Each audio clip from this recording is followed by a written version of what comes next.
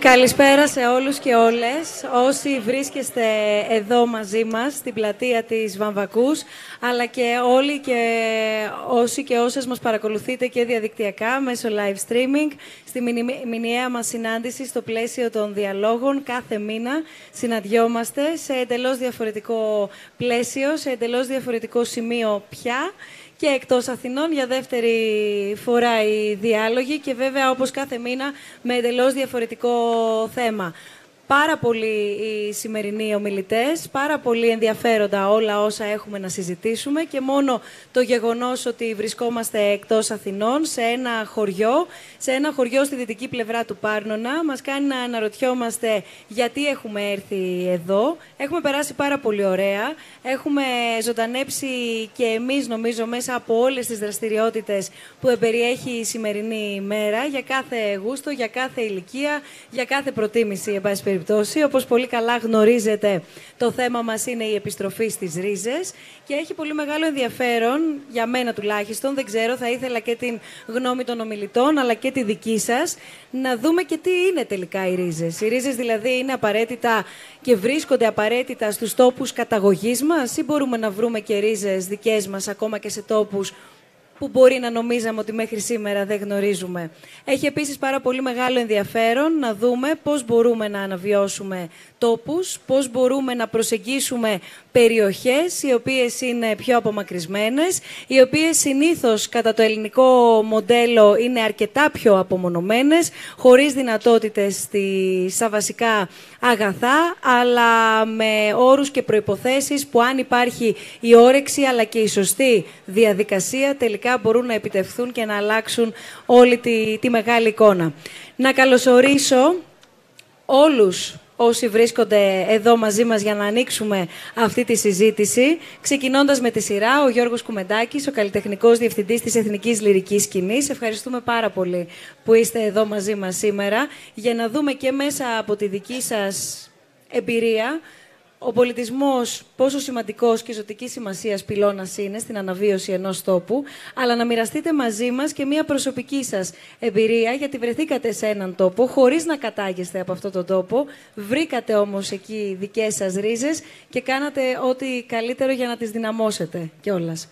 Ο Κωνσταντίνος Χαμπίδης είναι μαζί μας και ευχαριστούμε πολύ και εσάς που έχετε έρθει εδώ για να δούμε από το, υπό το πρίσμα μάλλον της τεχνολογίας και της καινοτομίας, τι δυνατότητες δίνονται για να δημιουργηθούν θέσεις εργασίας, για να δημιουργηθούν δυνατότητες τέτοιες ανάπτυξης ε, ενός τόπου με εντελώς διαφορετικούς και σύγχρονους τρόπους που σιγά σιγά κυρίως από το εξωτερικό μας έρχονται τέτοια πρότυπα και νομίζω ότι αν και εμείς τα μελετήσουμε με προσοχή δεν θα χάσουμε, παρά θα κερδίσουμε αν, αν τα ακολουθήσουμε. Chief Digital Officer του Δήμου Αθηναίων, ο Κωνσταντίνος Χαμπίδης. Ο πρόεδρος του Ιδρύματος Σταύρος Νιάρχος, Ανδρέας Δρακόπουλος, είναι μαζί μας, γιατί έχει σημασία να δούμε, πριν φτάσω στην πλέον ομάδα, στην ομάδα που μας έχει ουσιαστικά προσκαλέσει σήμερα στο χωριό και μας φιλοξενεί στο χωριό, να δούμε τι είναι εκείνο το οποίο σας έκανε και έκανε ουσιαστικά το Ίδρυμα Σταύρος Νιάρχος πρωτίστως να πιστέψει σε αυτή την ιδέα, για ποιο λόγο αλλά και με ποιο τρόπο έρχεται κανείς να υποστηρίξει τέτοιου είδους πρωτοβουλίες; Και τι έχει και το μετά. Πέρα από το σήμερα, πέρα από τη σημερινή πάρα πολύ ωραία γιορτή και συνάντηση, ξέρουμε καλά ότι αρκετοί θα φύγουμε, κάποιοι όμως θα μείνουν πίσω και θα πρέπει όμως και οι δύο πλευρές να μην χαθούμε στο μέσο αυτής της διαδρομής. Ο Τάκης Κουλουβάρης, επίσης, μετά από τον ορεινό αγώνα που πραγματοποιήθηκε και τα λέγαμε νωρίτερα, πρόεδρος της ε, Αναγέννησης και Πρόοδος, γιατρός, ένα πολύ μεγάλο δίκτυο γιατρών που έχουν ταξιδέψει στην απομακρυσμένη Ελλάδα, στην άγωνη γραμμή, αλλά και σε απομακρυσμένα σημεία της υπηρετικής Ελλάδας, για το αυτονόητο, για το οποίο όμως θα πρέπει να συζητήσουμε τι γίνεται με το θέμα της υγείας, πόσο απαραίτητος προφανώς πυλώνας είναι για τον οποιοδήποτε τόπο, κυρίως όμως ως προς την πρόσβαση. Να δούμε λοιπόν εδώ με ποιο τρόπο μπορεί να είναι εφικτή η πρόσβαση για τους κατοίκους, στους γιατρούς, αλλά και στην ιατροφαρμακευτική περίθαλψη. Και ξεκινάμε. Ανάργυρος. Ελένη. Ανάργυρος και Ελένη. Χάρης. Τάσος Παναγιώτης. παίρνετε το μικρόφωνο, θέλω να, να μας συστηθείτε, να μας πείτε ονοματεπώνυμο, να μας πείτε πώς βρέθηκε ο καθένας εδώ-εδώ, στο συγκεκριμένο χωριό, τι ρίζες έχει ο καθένας από εσάς με αυτό το χωριό, τι ρίζες απέκτησε στη συνέχεια, στην πορεία, γιατί ξαναλέω είμαστε σήμερα εδώ και κυρίως τι ακολουθεί μέσω της αναβίωσης της Βαμβακούς. Γεια σας, εγώ είμαι η Ελένη Μάμη. Δεν κατάγομαι από τη Βαμβακού. Ήρθα εδώ γιατί αγάπησα πολύ αυτό το χωριό. Ήρθα εδώ μαζί με τον Ανάργυρο να ξεκινήσουμε μια καινούργια ζωή. Ε, ήμουν υποψήφια διδάκτορας ε, στο Οικονομικό Πανεπιστήμιο Αθηνών στην Αθήνα, αλλά αυτό το πάγωσα και τώρα η πρόκληση εδώ είναι μεγάλη για να αναβιώσουμε την Βαμβακού. Καλώς ήρθατε. Εγώ ονομάζομαι Χάρης Βασιλάκος. Ε, κατάγομαι από τη Βαμβακού. Ερχόμασταν Παρασκευή, Σάββατο, Κυριακή πιο παλιά. Δεν μου άρεσε και τόσο το χωριό, να σας πω την αλήθεια. Κάθε φορά που μου έλεγε ο πατέρας μου θα πάμε στο χωριό, έλεγα στα πέντε μου, στα δέκα μου, που από πάλι τα ίδια. Αλλά κοίτα να δεις που πέρασαν τα χρόνια. Ε, χρηματιστής ήθελα να γίνω, φιλόλογος έγινα, έχω καταλήξει στη Βαμβακού. Τώρα βγάλτε τα συμπεράσματά σας. Ε, αγαπάμε πάρα πολύ αυτό που κάνουμε και αυτό που σκεφτόμουν τώρα που ερχόμουν είναι ότι είχαμε να δούμε τόσο κόσμο από το 2013. Τότε τιμούσαμε την εκκλησία μας και το χωριό μας, το παρελθόν μας. Και σήμερα τιμούμε το μέλλον μας. Ευχαριστούμε πολύ.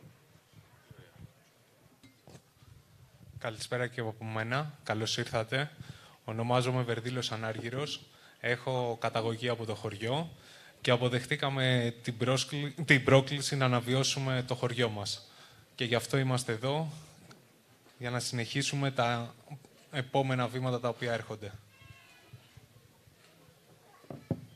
Γεια σας και από μένα. Είμαι ο Τάσος ο Μάρκος, με καταγωγή από τη Βαμβακού. Ε, ασχολούμαι με τη Βαμβακού πολλά χρόνια, με τα κοινά της Βαμβακούς. Είμαι πρόεδρος. Αγαπώ πολύ τη Βαμβακού, δουλεύω και τη Βαμβακού και συνεχίζω να δουλεύω πιο πολύ παρέα με το Ίδρυμα τώρα. Ευχαριστούμε πολύ. Γεια σας. Είμαι ο Τσιλιμιώτης ο Παναγιώτης. Κατάγομαι από τη Βαμβακού. Ε, κάθε Σαββατοκύριακο γιορτές μεγάλωσα από παιδί με τον παππού και τη γιαγιά. Όλα τα όνειρα έχουν γίνει σε αυτόν τον τόπο και πιστεύω στο μέλλον που έρχεται. Και είναι και παρόν και μέλλον. Ευχαριστώ πολύ για όλα. Πριν δώσω το λόγο στον κύριο Δρακόπουλο για να ρωτήσω τώρα το γιατί. Πώς γνωριστήκατε μεταξύ σας; Ε, νομίζω, αν εξαιρέσουμε τη σχέση Ανάργυρου και Ελένης... Ε, θα σου πω, θα σου πω τι εννοώ, νομίζω. Ε, αν εξαιρέσουμε τη σχέση Ανάργυρου και Ελένης, νομίζω ότι εγώ με τον Ανάργυρο ήμασταν πιο κοντά. Ε, για αρκετά χρόνια είχαμε μια ιδιότυπη ας πούμε, συνεργασία ε, για τον Πολιτιστικό Σύλλογο. Ε, με τα παιδιά δεθήκαμε σιγά-σιγά και ε, τελικά μπορώ να σας πω ότι μέσα από όλη αυτή τη διαφορετικότητα ε, ίσως να μπορεί ο άνθρωπος να πετύχει πολλά. Ίσως τελικά την ομοιότητα να μην τη θέλουμε και πολύ. Η διαφορετικότητα είναι αυτή που, ε, που ορίζει τα πράγματα τελικά και ίσως να τα αλλάζει κιόλας. Ε, νομίζω η διαφορετικότητα είναι αυτό που μας πάει μπροστά. Ο καθένας από εμάς βάζει το δικό του λιθαράκι, από τη δική του πλευρά και πάμε κάθε φορά ένα βήμα παρακάτω. Πόσο καιρό είστε εδώ ήδη, ζείτε ενώ εδώ. Εγώ με τον Ανάργυρο είμαστε εδώ από το Φλεβάρι. Εγώ τον τελευταίο μήνα και τα παιδιά θα έρθουν τον επόμενο καιρό. Τι σας έκανε, κύριε Δρακόπουλε, να, να πιστέψετε σε αυτή την πρωτοβουλία; Και το λέω αυτό, εντάξει, προφανώς βλέπουμε εδώ πέρα νέους ανθρώπους, ωραίες ιδέες, χαμογελαστούς, γεμάτους όρεξη, αλλά αν θυμηθεί κανείς τα τελευταία δέκα χρόνια, πες περιπτώσει, και το έχουμε πει και το έχουμε ξαναπεί, αλλά νομίζω έτσι είναι και ο Χάρης, δηλαδή δημοσιογραφικά, νομίζω θα με επιβεβαιώσεις, ότι η θετική είδηση που έπαιζε ήταν ε, ότι οι νέοι που δεν φεύγουν για το εξωτερικό, φεύγουν για την επαρχία, φεύγουν για την περιφέρεια, επιστρέφουν στα χωριά τους. Το ερώτημα όμως είναι και ήταν το πόσοι άντεξαν, θέλω να πω, το πόσοι έφυγαν συντονισμένα, βρήκαν ομάδες, βρήκαν συνοδοιπόρους και βρήκαν και τον τρόπο εκείνο που, εν πάση περιπτώσει, όχι θα πετύχαινε, γιατί η αποτυχία νομίζω είναι το, το, το, το, πλέον αναμενόμενο, αλλά βρήκαν τον τρόπο που θα μπορούσαν, εν πάση περιπτώσει, να δέσουν καλύτερα. Δεν ήταν πολλά αυτά τα παραδείγματα αν δεν με απατά η μνήμη μου. Το ερώτημα είναι λοιπόν, πριν, ε, πριν μας πεις Χάρη, είναι τι σας έκανε να διακρίνετε κάτι ιδιαίτερο ενδεχομένως και να πιστέψετε σε αυτό το εγχείρημα. Επειδή όντως το θέμα των τελευταίων χρόνων ήταν πώς θα επιστρέψουμε στη γη, πώς θα πετάξουμε πέντε σπόρους και θα καλλιεργήσουμε την πατάτα και ξαφνικά θα βγούμε από την κρίση. Δεν γίνεται αυτό. Ε, θα σταθώ πολύ στους... Νομίζω ήταν οι πρώτοι διάλογοι στη λυρική σκηνή. Ε, ο κύριος Ζερβάκης και ο κύριος Βασιλάκης είχαν ε, μία πολύ ωραία ερώτηση για τον κόσμο. Είναι πιο σημαντικό το τι ή το πώς; Απαντούσε ο κόσμος, αλλά μπορώ να σας πω ότι τελικά ε, το, την προσωπική μου άποψη, έτσι, το τι ε, ορίζεται από το πώς. Δηλαδή αυτό το, το περιβόητο τι, τι θα κάνουμε, μας επιστρέψουμε στο χωριό. Απέτυχε γιατί το πώς δεν ήταν αυτό που έπρεπε να είναι. Ε, ελπίζουμε ότι αυτό το πώς θα μας οδηγήσει ε, στο να πετύχουμε mm. το στόχο μας. Κύριε Τρακόπουλε. Πρώτα απ' όλα ευχαριστούμε όλους οι Τσεβαμβακού που μας καλωσορίσατε σήμερα, γιατί είμαστε και εμείς εδώ πέρα επισκέπτες. Ε, να πω ότι έχουμε με οικογενειακές ρίζες, γιατί ο προπάπους μου και η οικογένεια ήταν από εδώ. Ε, και μάλιστα ο, ο Σπύρος Νιάρχος πέθανε σε ένα, σε ένα γαϊδουράκι στη Βαμβακού. Ε, αλλά αυτός δεν είναι ο βασικός ε, λόγος. Ο βασικός λόγος είναι οι πέντε με τις μπλε μπλούζες.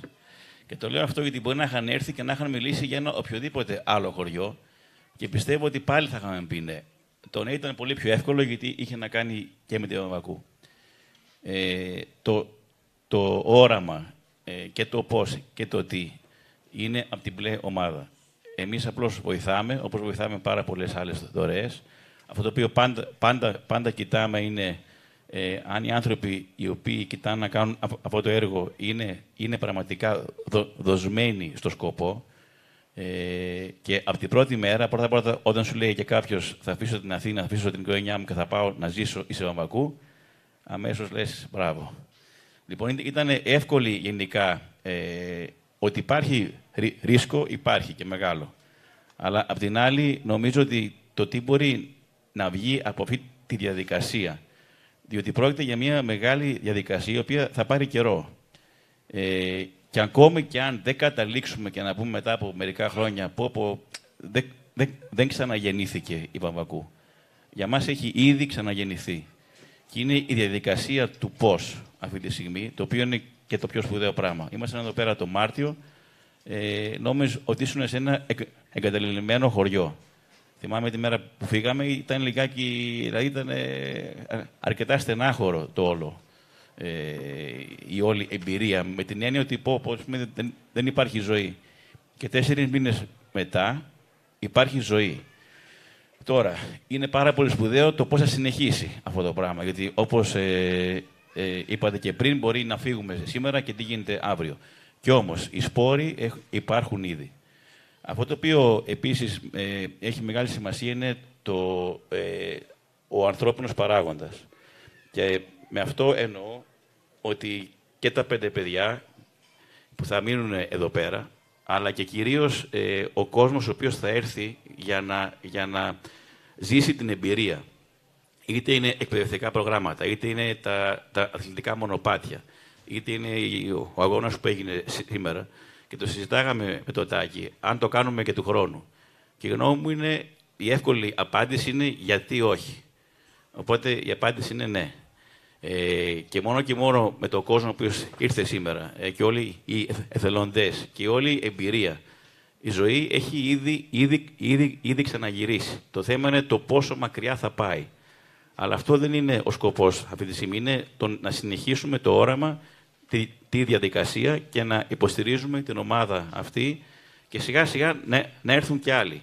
Και αυτό πιστεύουμε ότι το καλοκαίρι με τα διάφορα προγράμματα, όπως είπα πριν, ε, και θέατρο και θρηνός κινηματογράφος, να έρθει πίσω ο ανθρώπινος παράγοντας, να έρθει πίσω η ζωή. Οπότε ήταν εύκολη η απάντηση ε, και θα συνεχίσουμε στο πλευρό και πάλι έχει μια ιδιαίτερη σημασία για όλους μας ότι είναι το, το χωριό με το οποίο συνδεόμαστε και οικογενειακά αλλά πιο πολύ από αυτό είναι το, το όραμα των πέντε μπλε, οι μπλε μπρούζες και, το, ε, και επίσης το, το, ότι πραγματικά δουλεύουν και αυτοί για αυτό το όραμα από το πρωί ως το βράδυ.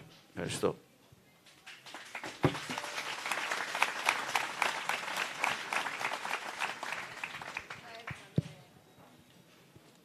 Θα έφτανε εδώ μια θεατρική παράσταση ή μια παράσταση της λυρικής; Όχι μόνο θα έφτανε, αλλά θα φτάσει σε λίγο. Έτσι δεν είναι σε 7 η ώρα. Θα δείτε την λυρική σκηνή σε ένα πρόγραμμα σύντομης διάρκειας. Ε, χαίρομαι πάρα πολύ που βρίσκομαι σε αυτό το χωριό, γιατί μου θυμίζει τη δική μου περιπέτεια. Μια περιπέτεια που νομίζω ότι έχει περάσει ένας αιώνας, έχουν περάσει μόνο δυόμιση χρόνια. Έζησα 13 χρόνια σε ένα χωριό των Κυκλάδων, σε ένα χωριό της Τίνου, τα Ιστέρνια. Μπορούμε μετά να συζητήσουμε γιατί είναι μια έτσι, λίγο πιο προσωπική κατάθεση που ενδεχομένως να ενδιαφέρει γιατί υπάρχουν πολλά κοινά χαρακτηριστικά. Αυτό που θέλω να πω σαν μια μικρή εισαγωγή... Πολύ πριν ανέβουν στα social media και πολύ πριν μάθουμε τι είναι τα Ιστέρνια και πολύ πριν πάρει τα πάνω της η Τίνος. Έχει πολύ μεγάλη σημασία. Έχει πολύ μεγάλη σημασία γιατί τα παιδιά εδώ, οι φίλοι μας, θα πρέπει να προσέξουν κάποια πράγματα στην ανάπτυξη, στη μεγάλη ανάπτυξη μιας τέτοιας ας πούμε κυψέλης, η οποία ενδεχομένως δεν θα μπορεί να αντέξει αυτό τουλάχιστον που εμείς οραματιζόμαστε, γιατί έγινε ανεξέλεγκτα μεγάλο. Αλλά μπορούμε να το συζητήσουμε αργότερα. Με εντυπωσιάζει πολύ ότι πριν από ένα μήνα ήρθαμε εδώ με την ομάδα του Ιδρύματος για να δούμε τους χώρους και το χωριό.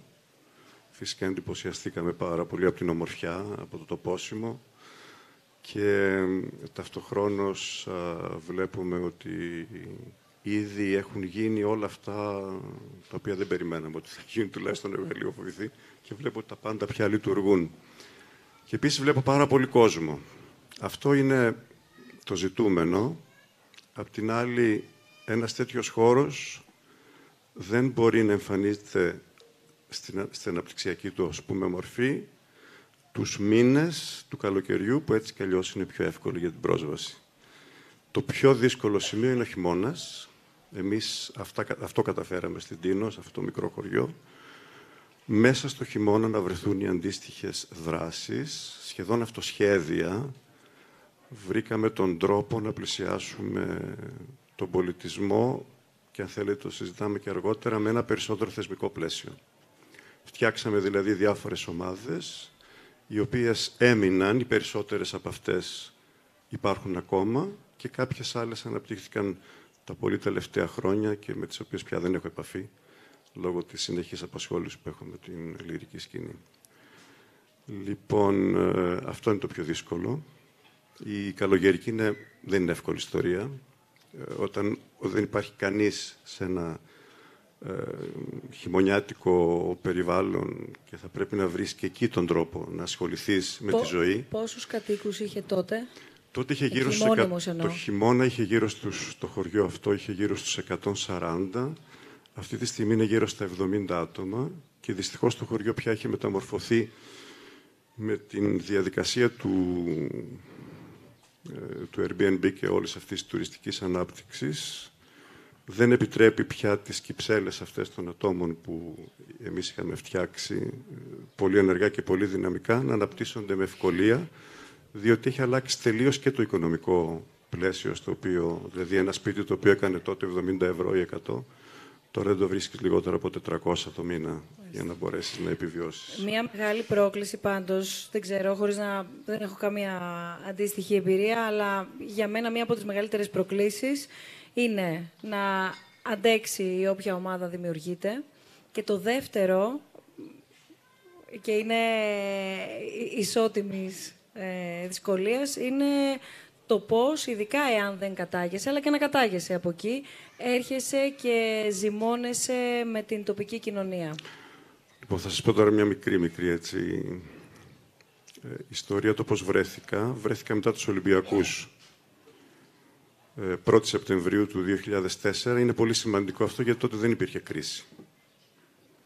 Αλλά δεν υπήρχαν και αντίστοιχα άτομα που να ενδιαφέρονται για την ε, επαναφορά ε, στην ε, περιφέρεια και μάλιστα σε ένα ξεχασμένο χωριό των Κυκλάδων. έναν ολόκληρο χρόνο έζησα κλεισμένο στο σπίτι μου προσπαθώντας να ξαναβρω τον εαυτό μου μετά τους Ολυμπιακούς γιατί ήταν ένα πολύ δύσκολο κομμάτι. Δουλέψαμε τρία χρόνια πολύ σκληρά και το ψυχολογικό βάρος ήταν τεράστιο. Μετά τον ένα χρόνο άρχισα σιγά σιγά να ξεμητίζω από το σπίτι, οπότε οι πρώτοι που συνάντησα δίπλα μου ήταν οι, οι γείτονες και οι γειτόνισε, με τις οποίες άρχισα έτσι μια πολύ ουσιαστική σχέση. Το αμέσως επόμενο βήμα ήταν η εκκλησία. Η Εκκλησία σε αυτά τα χωριά, όπως και εδώ άκουσα πριν, ε, έχει ένα πολύ βασικό ρόλο, γιατί τα πάντα κινούνται γύρω από το ερωτολόγιο της Εκκλησίας και ο κόσμος ήταν στενά συνδεδεμένος, με βαθιά πίστη και με βλάβεια, οπότε ε, υπήρχε ήδη μια κοινότητα, χριστιανική κοινότητα, η οποία μας ένωνε και μας ένωνε ουσιαστικά και μας ενώνει ακόμα.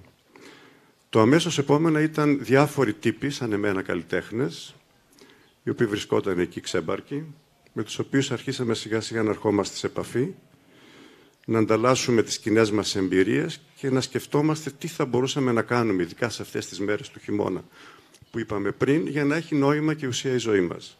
Η προϋπόθεση ήταν ότι αγαπούσαμε πάρα πολύ το μέρος αυτό. Τη φύση, το να μένεις στη φύση και να συντεριάξεις και να συντεριάζεις και να ακολουθείς τη ζωή των συγκατοίκων. Έτσι.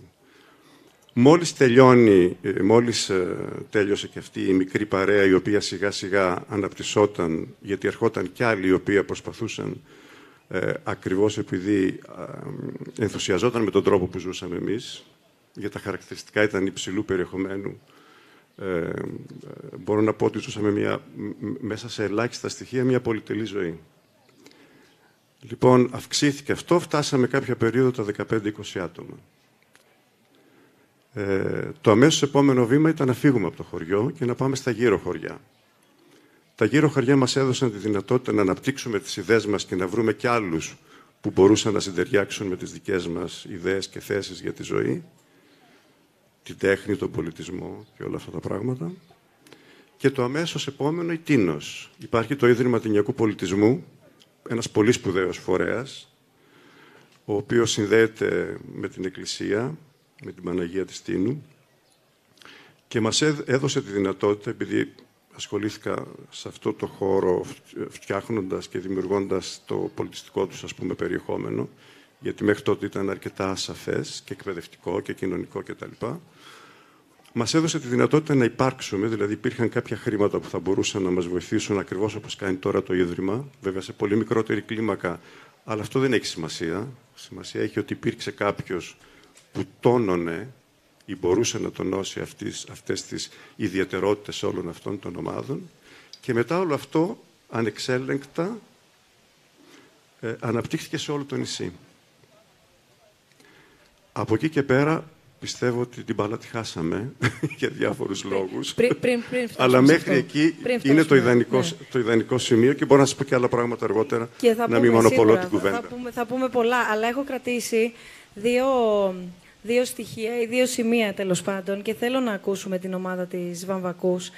Το ένα είναι ορμόμενοι από όσα μας περιέγραψε τώρα ο Γιώργος, το γεγονός ότι προσπάθησαν να ταιριάξουν ουσιαστικά τη φύση, άρα ναι μεν ότι υπάρχει, εδώ δεν χρειάζεται να μιλήσουμε για αυτή την υπέροχη φύση, Άρα φαντάζομαι ότι και εσείς έχετε να μας πείτε πολλά για το πώς θα ταιριάξετε τη φύση, με τη ζωή όμως και την καθημερινότητα. Η καθημερινότητα σημαίνει ότι θα πρέπει να δουλεύω έτσι ώστε να βγάζω χρήματα, έτσι ώστε να μπορώ να καταναλώνω, έτσι ώστε να κινείται η αγορά, να κάνω οικογένεια, να πάνε τα παιδιά μου στο σχολείο και όλος ο κύκλος να συνεχίσει να γυρίζει.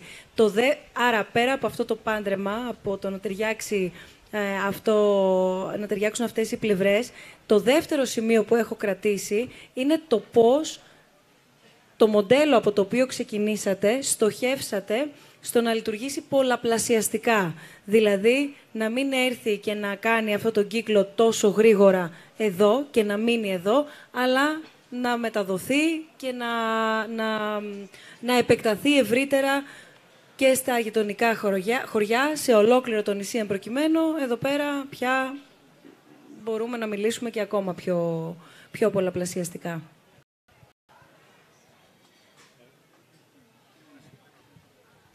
Κύριε Μπουσδούκου, μπορείτε να επαναλάβετε την πρώτη ερώτηση, γιατί έμεινα στη δεύτερη και ξέχασα. Έχει πέσει το βάρος της ομάδας σε εσένα να απαντάς, Χάρη; Όχι, αλλά κοιταχτήκαμε τώρα, εντάξει, προέκυψαν.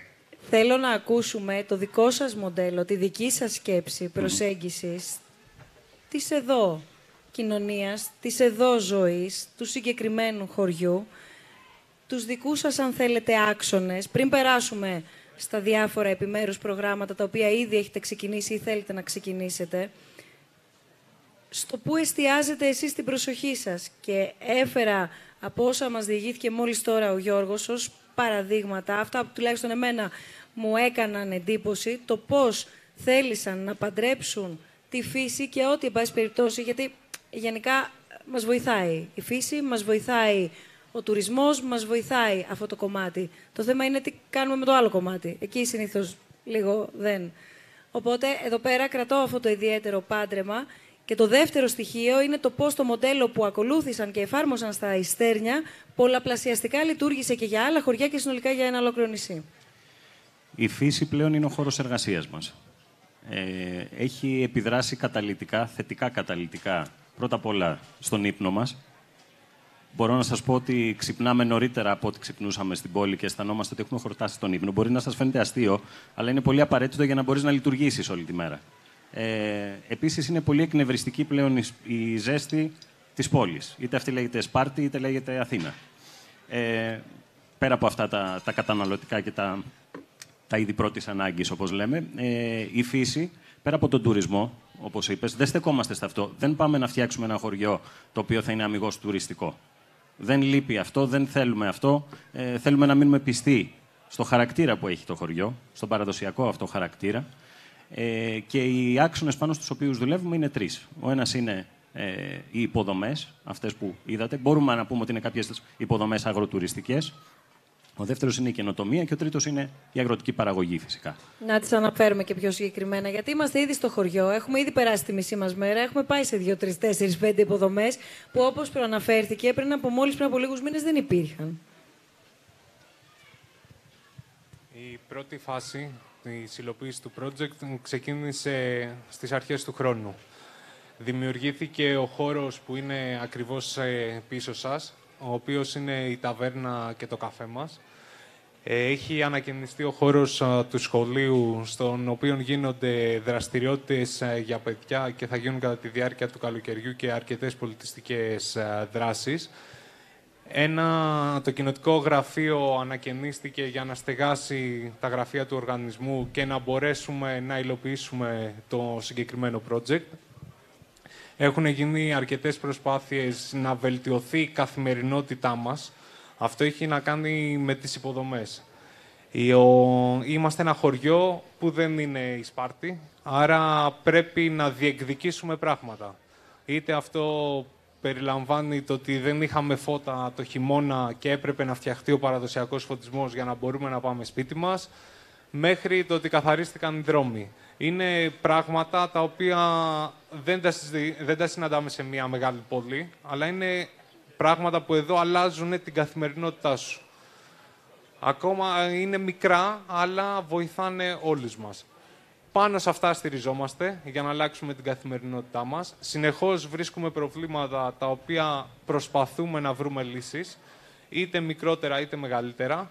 Και αυτό το οποίο θέλουμε στην πραγματικότητα είναι να κρατήσουμε το χαρακτήρα του χωριού που βλέπουμε και να παρέχουμε σύγχρονες συνθήκες διαβίωσης για τους κατοίκους που υπάρχουν στην περιοχή και θα έρθουν. Ποιος είναι ο χαρακτήρας του χωριού, δηλαδή τι είναι αυτό που χαρακτηρίζει το χωριό, τι είναι αυτό που θέλετε να κρατήσετε στο χωριό, τι είναι αυτό που πρέπει να ξέρουμε κι εμείς και να μάθουμε για το χωριό που δεν έχουμε έρθει πολλές φορές, ίσως κάποιοι να έρχονται σήμερα και πρώτη φορά εδώ. Θέλουμε να κρατήσουμε καταρχήν το παραδοσιακό του χαρακτήρα. Και πήγε, πήγε έξι. Αυτό είναι το ρολόι του χωριού. Ναι. Δεν λειτουργούσε όταν ήρθαμε, λειτουργεί τώρα το ρολόι του χωριού ένα από τα πράγματα τα οποία διορθώθηκε σταδιακά.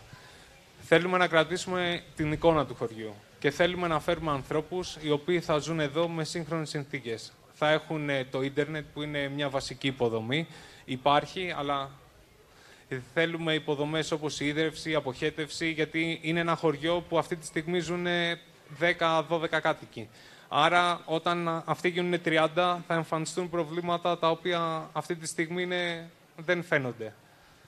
Και πάνω σε αυτό να δουλέψουμε και να δούμε σε, στα επόμενα χρόνια τι μπορούμε να κάνουμε στους υπόλοιπους τομείς, όπως ανέφερε ο Χάρης, στον πρωτογενή τομέα, στο δευτερογενή τομέα, τη λογική της τηλεεργασίας και πώς μπορεί να εφαρμοστεί και με ποιες συνέργειες θα γίνει αυτή και ποιους οργανισμούς θα μπορέσουμε να προσεγγίσουμε για να υλοποιήσουμε αυτό το στόχο αυτή είναι η σκέψη μας για το χωριό. Σίγουρα δεν το έχουμε ξανακάνει.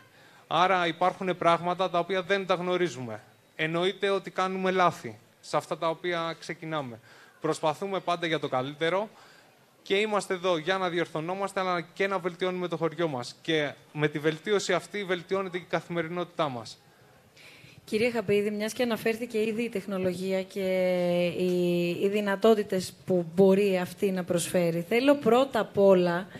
Ε, έχετε ξανάρθει στο χωριό; Είναι η πρώτη φορά που έρχομαι, όχι. Ωραία, θέλω την πρώτη σας αίσθηση. Την πρώτη αίσθηση όμως υπό αυτό το πρίσμα. Όχι ένα ωραίο χωριό, αυτό το είπαμε όλοι μας. Όποιος όμως ξέρει τι μπορεί να προσφέρει η τεχνολογία και όποιος ακριβώς γνωρίζει τι χρειάζεται για να έρθει η σωστή τεχνολογία σε συνδυασμό με τον σωστό τρόπο, θέλω την πρώτη σας εικόνα.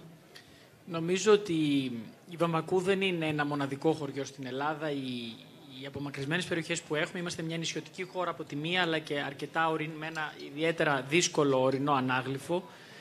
Ε, έχουν, θα συναντήσουμε πάρα, πολλά, πάρα πολλές βαμβακού, όχι ως προς την ομορφιά, αλλά ως προς τα, ως προς τα πόσο εγκαταλειμμένα χωριά μπορείς να βρεις ανά την ελληνική επικράτεια.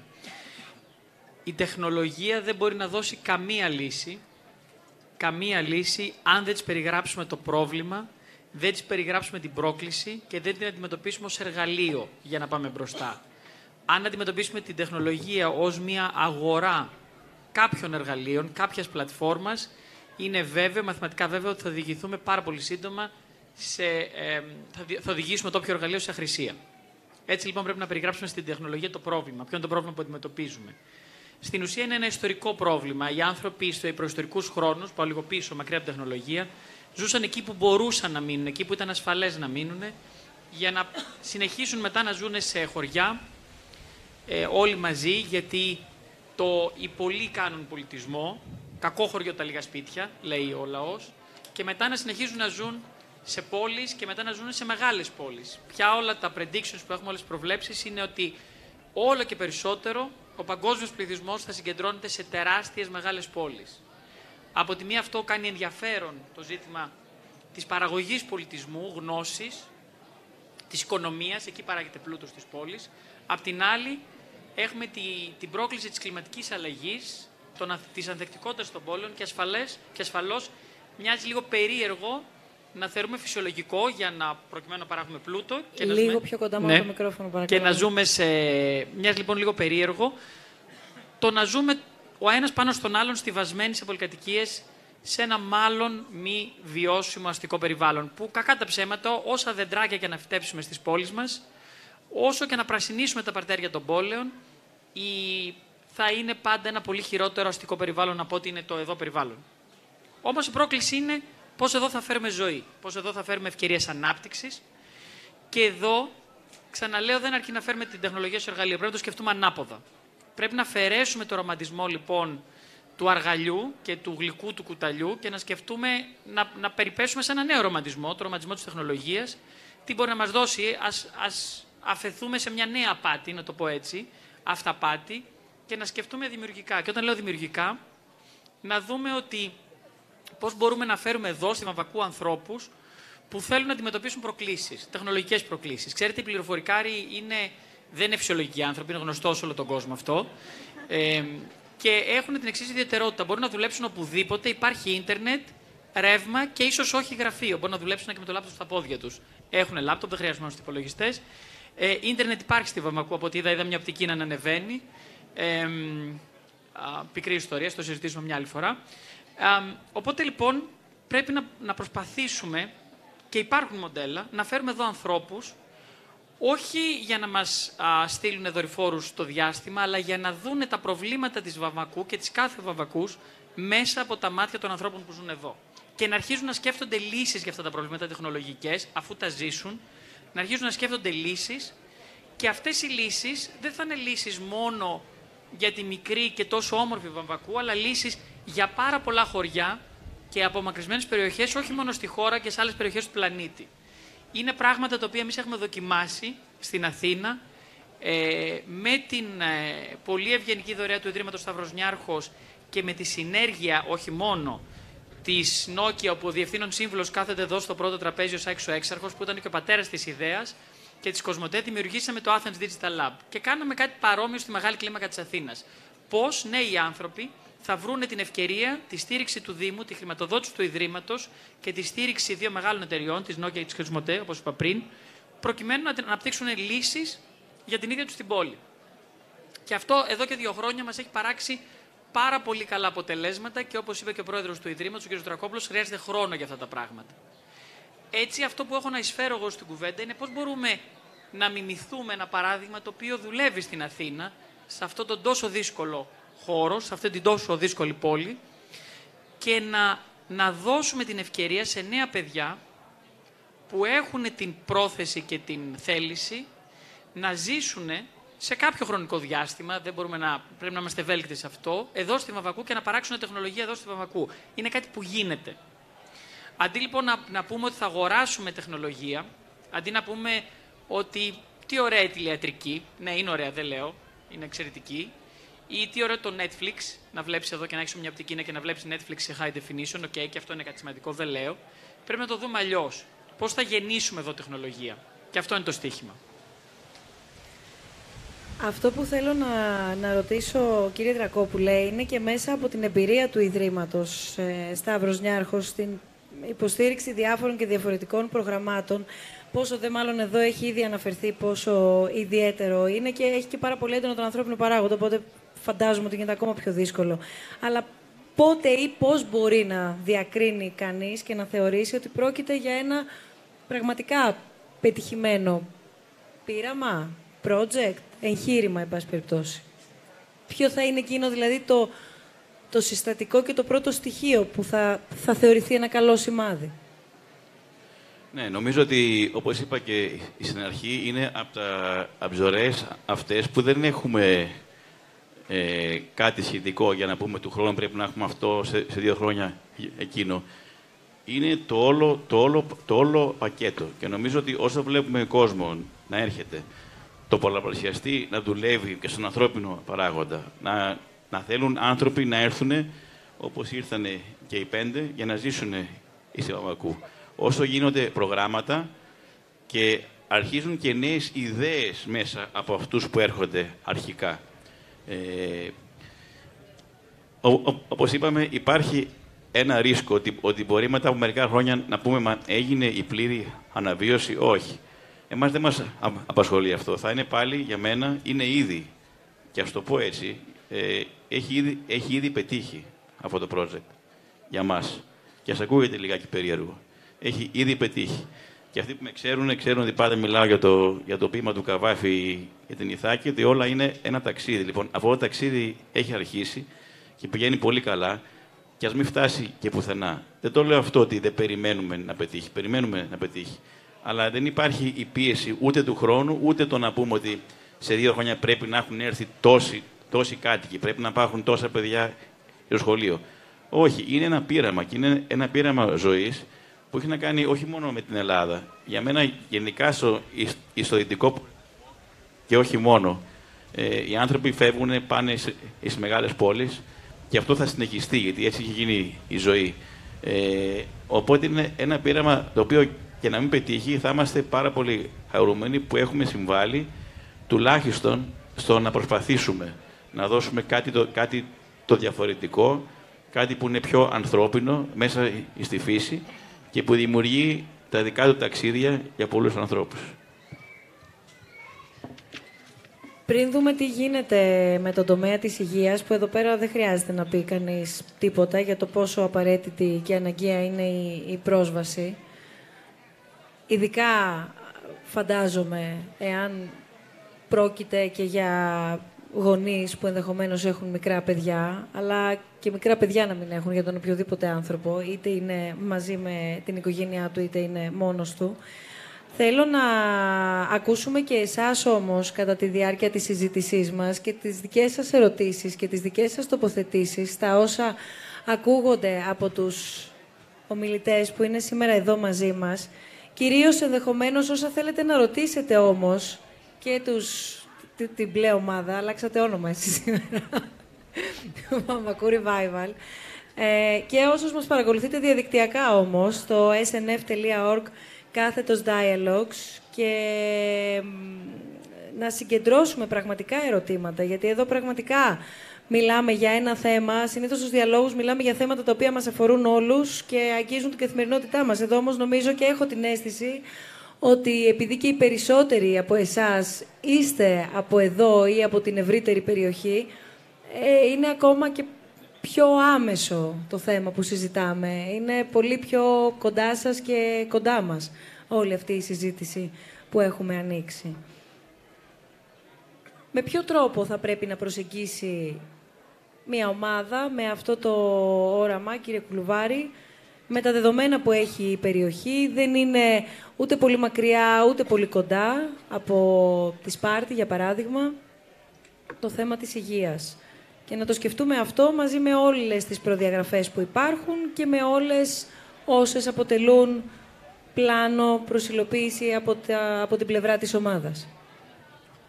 Ευχαριστώ κύριε Αποστούκου. Νομίζω πρέπει να συμφωνήσουμε όλοι ότι η υγεία είναι δικαίωμα του κάθε πολίτη, δεν είναι προνόμιο.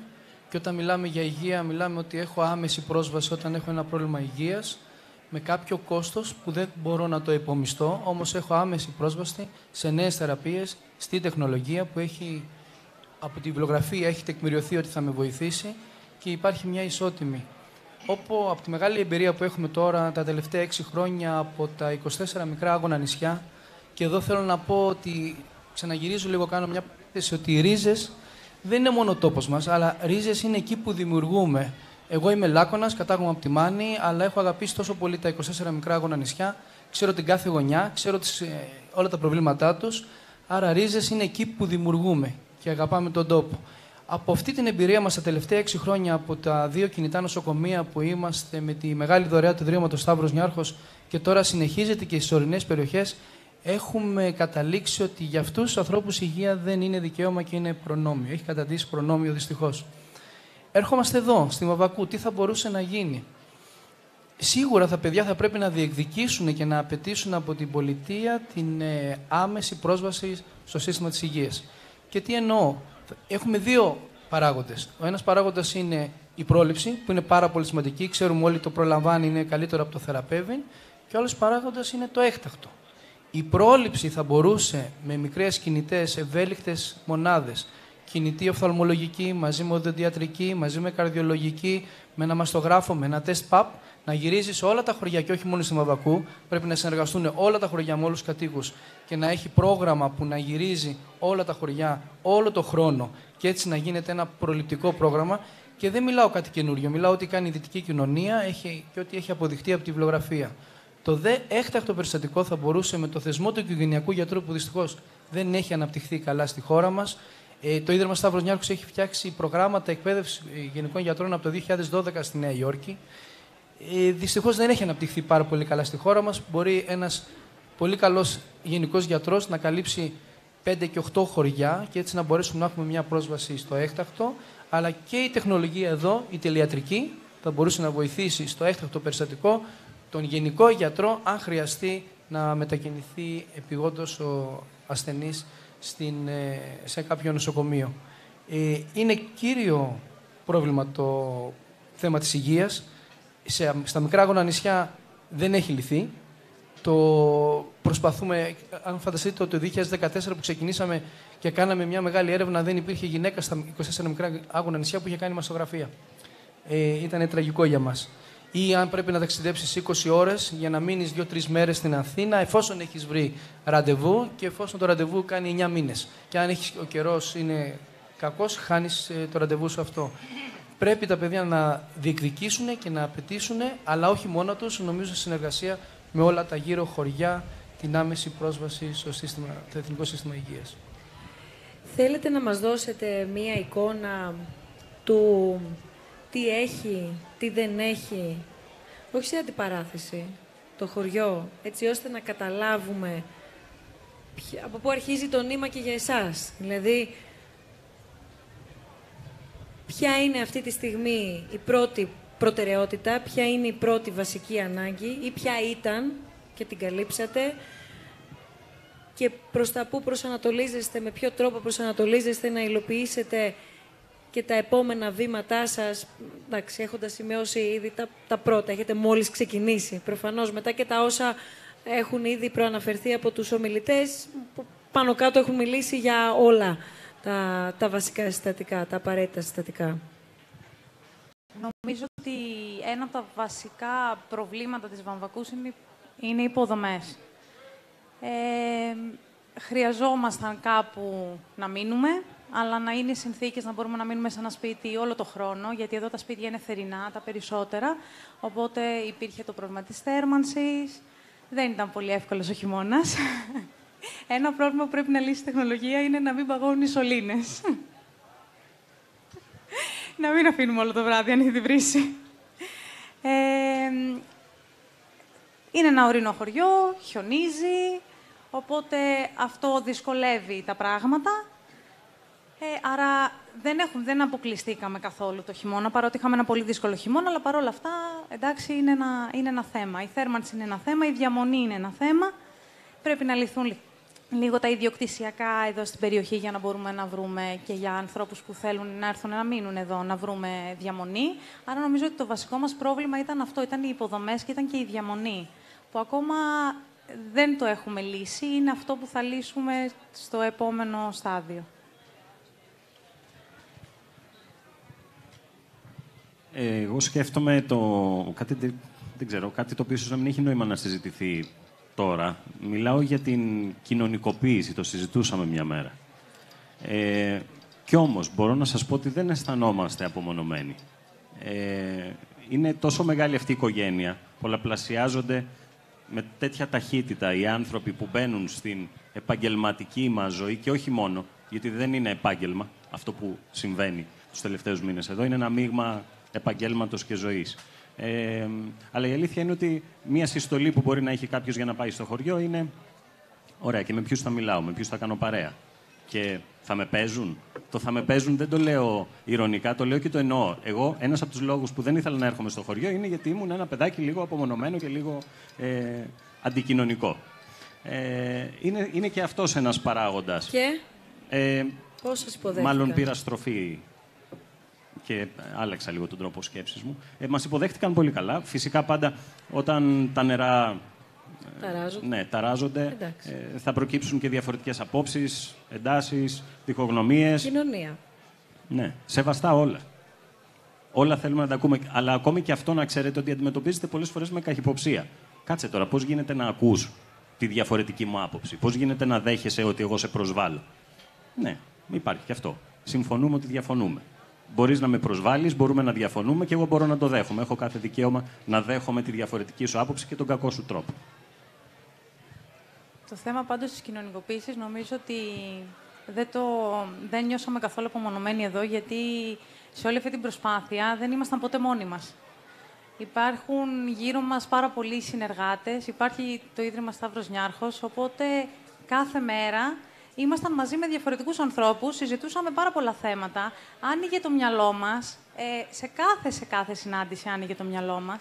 Βρίσκαμε διαφορετικά πράγματα, διαφορετικές ιδέες, κάθε μέρα είναι διαφορετική. Ε, ασχοληθήκαμε με πράγματα που δεν το είχαμε φανταστεί καν ότι θα ασχολιόμασταν. Δηλαδή, εγώ όταν ήμουν στην Αθήνα, νομίζω ότι δεν είχα σκεφτεί ποτέ ότι θα έκανα όλα αυτά που έχω κάνει τους από το Φλεβάρι εδώ στη Βαμβακού και δεν ξέρω αν θα μου δινόταν και η δυνατότητα στην Αθήνα να τα κάνω όλα αυτά μέσα σε τόσο σύντομο χρονικό διάστημα και σε τόσο μικρή ηλικία. Νομίζω ότι αυτό είναι ένα στοιχείο που όλο αυτό το πράγμα, αλλά και την μετήκησή μας εδώ, την έκανε πάρα πολύ ξεχωριστή. Οι φίλοι που είχατε και η κοινωνικοποίησή σας στην προηγούμενη ζωή, τι έγινε τώρα; Εδώ, απομονωθήκατε, έρχονται, οι φίλοι μας σήμερα είναι εδώ. Και... Πού είναι, πού είναι οι φίλοι σας; Δεν ξέρω, κάπου τους έχω χάσει. Φοράνε και αυτοί μπλες μπλούζες είναι εδώ και μας βοηθάνε και ε, εντάξει, και εμείς πηγαίνουμε στην Αθήνα. Δεν, έχουμε ξεχάσει, δεν μας έχουν ξεχάσει, δεν τους έχουμε ξεχάσει. Είναι από τους πρώτους ανθρώπους που μας στηρίξανε. Παρακολουθούν τα έργα ένα-ένα και είχαν το ίδιο άγχος με εμάς, γι' αυτό και σήμερα ήταν εδώ και μας βοηθήσανε να είναι εκεί τα παιδιά στα σκαλιά. Που μας βοηθούν όλη την ημέρα και μας ξεναγούν με τις οδηγίες τους ουσιαστικά μέσα στο χωριό όλη την ημέρα και σε αυτό το πρόγραμμα που έχει ετοιμαστεί για σήμερα. Μέσα από όλη αυτή την πολύ ωραία ιστορία που ακούσαμε νωρίτερα για τα Ιστέρνια και όσοι έχουμε πάει πραγματικά τα έχουμε αγαπήσει και έχουμε νιώσει κάτι σε αυτόν τον τόπο. Τι είναι αυτό το οποίο απογοήτευσε όλη αυτή την ομάδα περισσότερο. Πριν πάμε σε αυτό μπορώ να πω κάτι για το προηγούμενο, γιατί έχει πολύ ενδιαφέρον, γιατί τα πρώτα πράγματα που αντιμετωπίσει είναι πρακτικά. Ε, ε, εγώ έφτασα σε ένα χωριό που το ρεύμα, είχαμε διακοπές ρεύματος συνεχώς, το νερό δεν πεινόταν, δεν υπήρχε βιολογικός καθαρισμός, ε, πάρα πολλές φορές δεν υπήρχε γιατρός ε, αγροτικός, ε, δεν υπήρχαν φώτα στους δρόμους, ε, οπότε από ένα σημείο και μετά άνθρωποι μεγάλης ηλικίας δεν μπορούσαν να κυκλοφορήσουν κτλ. κτλ. Ε, η, η πρώτη σχέση που προσπαθήσαμε να φτιάξουμε που είχε πολύ ενδιαφέρον και δεν ήταν πολύ εύκολο ήταν με τους ντόπιους. Και μου έκανε πολύ μεγάλη εντύπωση, μας έκανε εντύπωση ότι είχαν αφαιθεί σε αυτή την πραγματικότητα θεωρώντας ότι ήταν φυσιολογική και ουσιαστικά δεν είχαν, σαν να μην είχαν κανένα δικαίωμα για αυτή τη ζωή. Πολύ εντυπωσιακό. Σιγά σιγά, οποιαδήποτε πρωτοβουλία πήραμε, και γι' αυτό μη σας φοβίζα πολύ το τίποτα, πραγματικά το λέω ξεκινάτε με πολύ ωραίες ε, προδιαγραφές και πολύ σωστά. Ε, αυτό που κάν, ό,τι κάναμε, ό,τι ενέργεια κάναμε, την κάναμε συλλογικά και συνολικά. Μαζεύαμε υπογραφές, ε, πήγαμε στη ΔΕΗ, μας έβαλε υπόγειο ρεύμα, ένα μεγάλο μέρος του χωριού, το νερό μας αυτή τη στιγμή πίνεται, ε, είναι ηλεκτροδοτημένο όλο το σύστημα κτλ. Ε, και τώρα έχω την εντύπωση ότι αυτό όχι μόνο το απολαμβάνουν, αλλά θεωρούν ότι είναι ένα δικαίωμα δικαίωμα για τη ζωή. Και τώρα δεν μπορείς πολύ εύκολα να το πάρεις. Οπότε οτιδήποτε υπάρχει ως πρόβλημα το αντιμετωπίζουν πάντα συλλογικά και αυτό είναι μια πολύ μεγάλη νίκη για όλους μας. Λοιπόν, εμείς δεν είχαμε αυτές ε, τις τόσο έτσι εξελιγμένες και σωστές προδιαγραφές παρά μόνο σε, ένα πιο, σε μια μικρά, μικρή κλίμακα και περισσότερο ατομικά ο καθένας και μάλιστα μέσα από την τέχνη και τον πολιτισμό ε, και γι' αυτό προσπαθήσαμε μέσα από, αυτά τα, μέσα από αυτές τις διαδικασίες να αναπτύξουμε τις δράσεις μας. Ε, λοιπόν, τι έγινε ξαφνικά; Έγινε ένα από τα πιο τουριστικά χωριά της Τίνου, ακριβώς επειδή διαφημίστηκε πολύ. Οι υποδομές ήταν και παραμένουν πολύ μικρές, σχεδόν ελάχιστες, οπότε δεν είναι δυνατόν να αντέξουν όλη αυτή την κοσμοσυρωή που συμβαίνει για αυτούς περίπου τους δύο μήνες του καλοκαιριού, ουσιαστικά Ιούλιο και Αύγουστο. Προς το τέλος Αυγούστου εξαφανίζονται.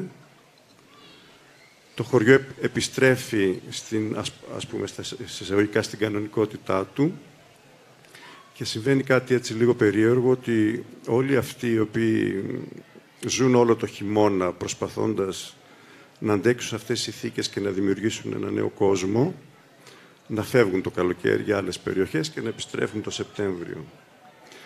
Λοιπόν, για μένα αυτό ήταν το σημείο φθοράς και απογοήτευσης. Απ' την άλλη, δεν μπορείς να κάνεις τίποτα ακριβώς γιατί η ζωή εξελίσσεται. Ερήμην μας, δυστυχώς. Ε, οπότε δεν ξέρω αν κάποια στιγμή όλο αυτό κατασταλάξει και μπορέσει να βρεθεί ένας καλός μέσος όρος. Ε, πάντως με τους ρυθμούς που αναπτύσσεται αυτή τη στιγμή ένα μικρό χωριό που έχει νομίζω πέντε καφέ ή κάτι τέτοιο, ένας πολύ μικρός ιστός αυτή τη στιγμή εστιατόρια, καφέ και δεν ξέρω τι άλλο.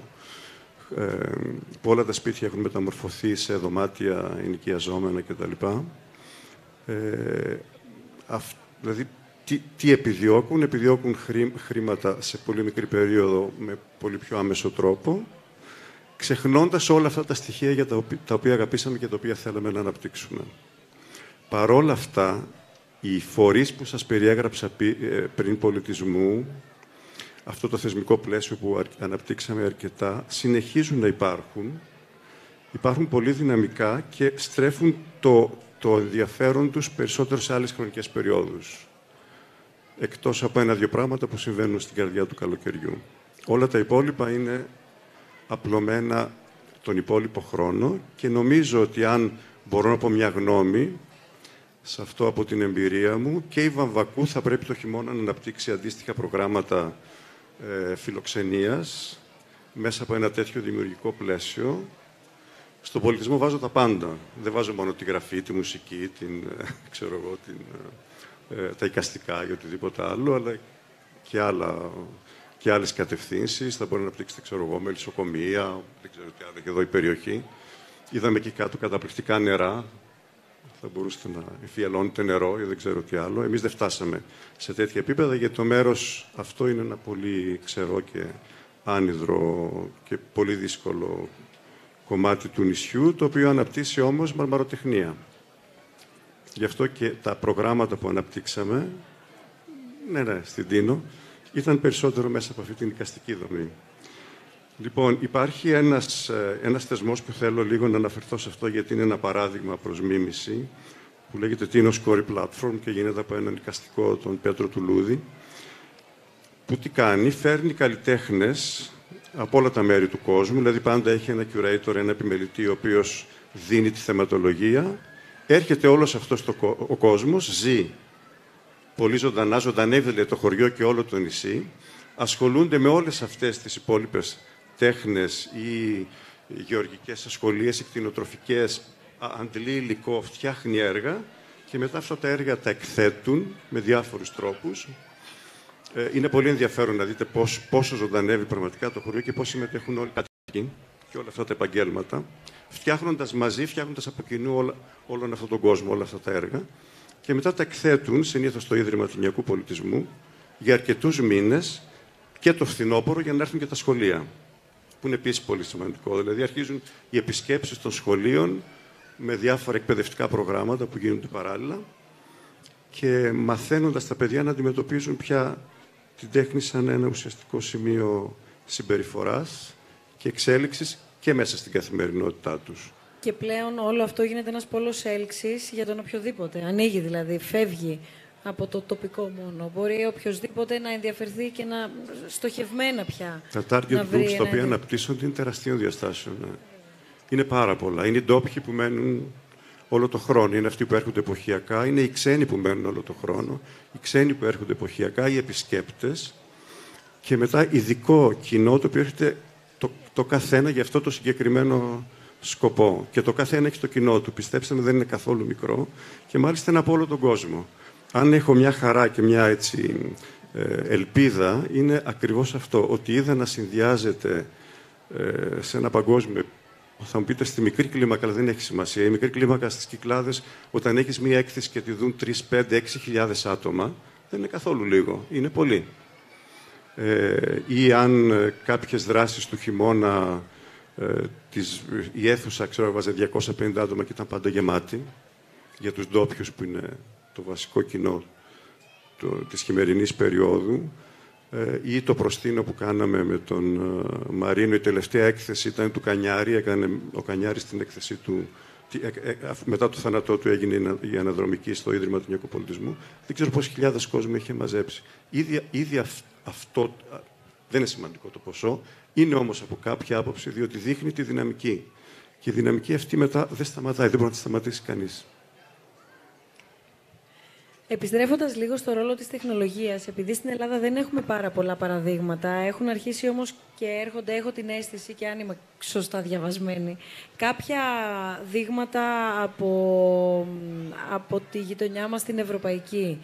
Υπάρχουν χώρες, μοντέλα που, εν πάση περιπτώσει, έχουμε πιο πολλά κοινά χαρακτηριστικά, άρα θα μπορούσαμε ενδεχομένως να τα μελετήσουμε περισσότερο και να τα δοκιμάσουμε, να αρχίσουμε να τα δοκιμάζουμε και εδώ.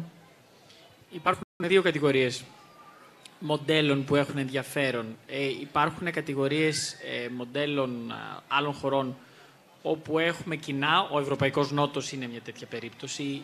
όλοι οι νότιοι της Ευρώπης μοιάζουμε αρκετά, το ξέρουμε νομίζω όλοι, όσοι έχουμε λίγο ταξιδέψει.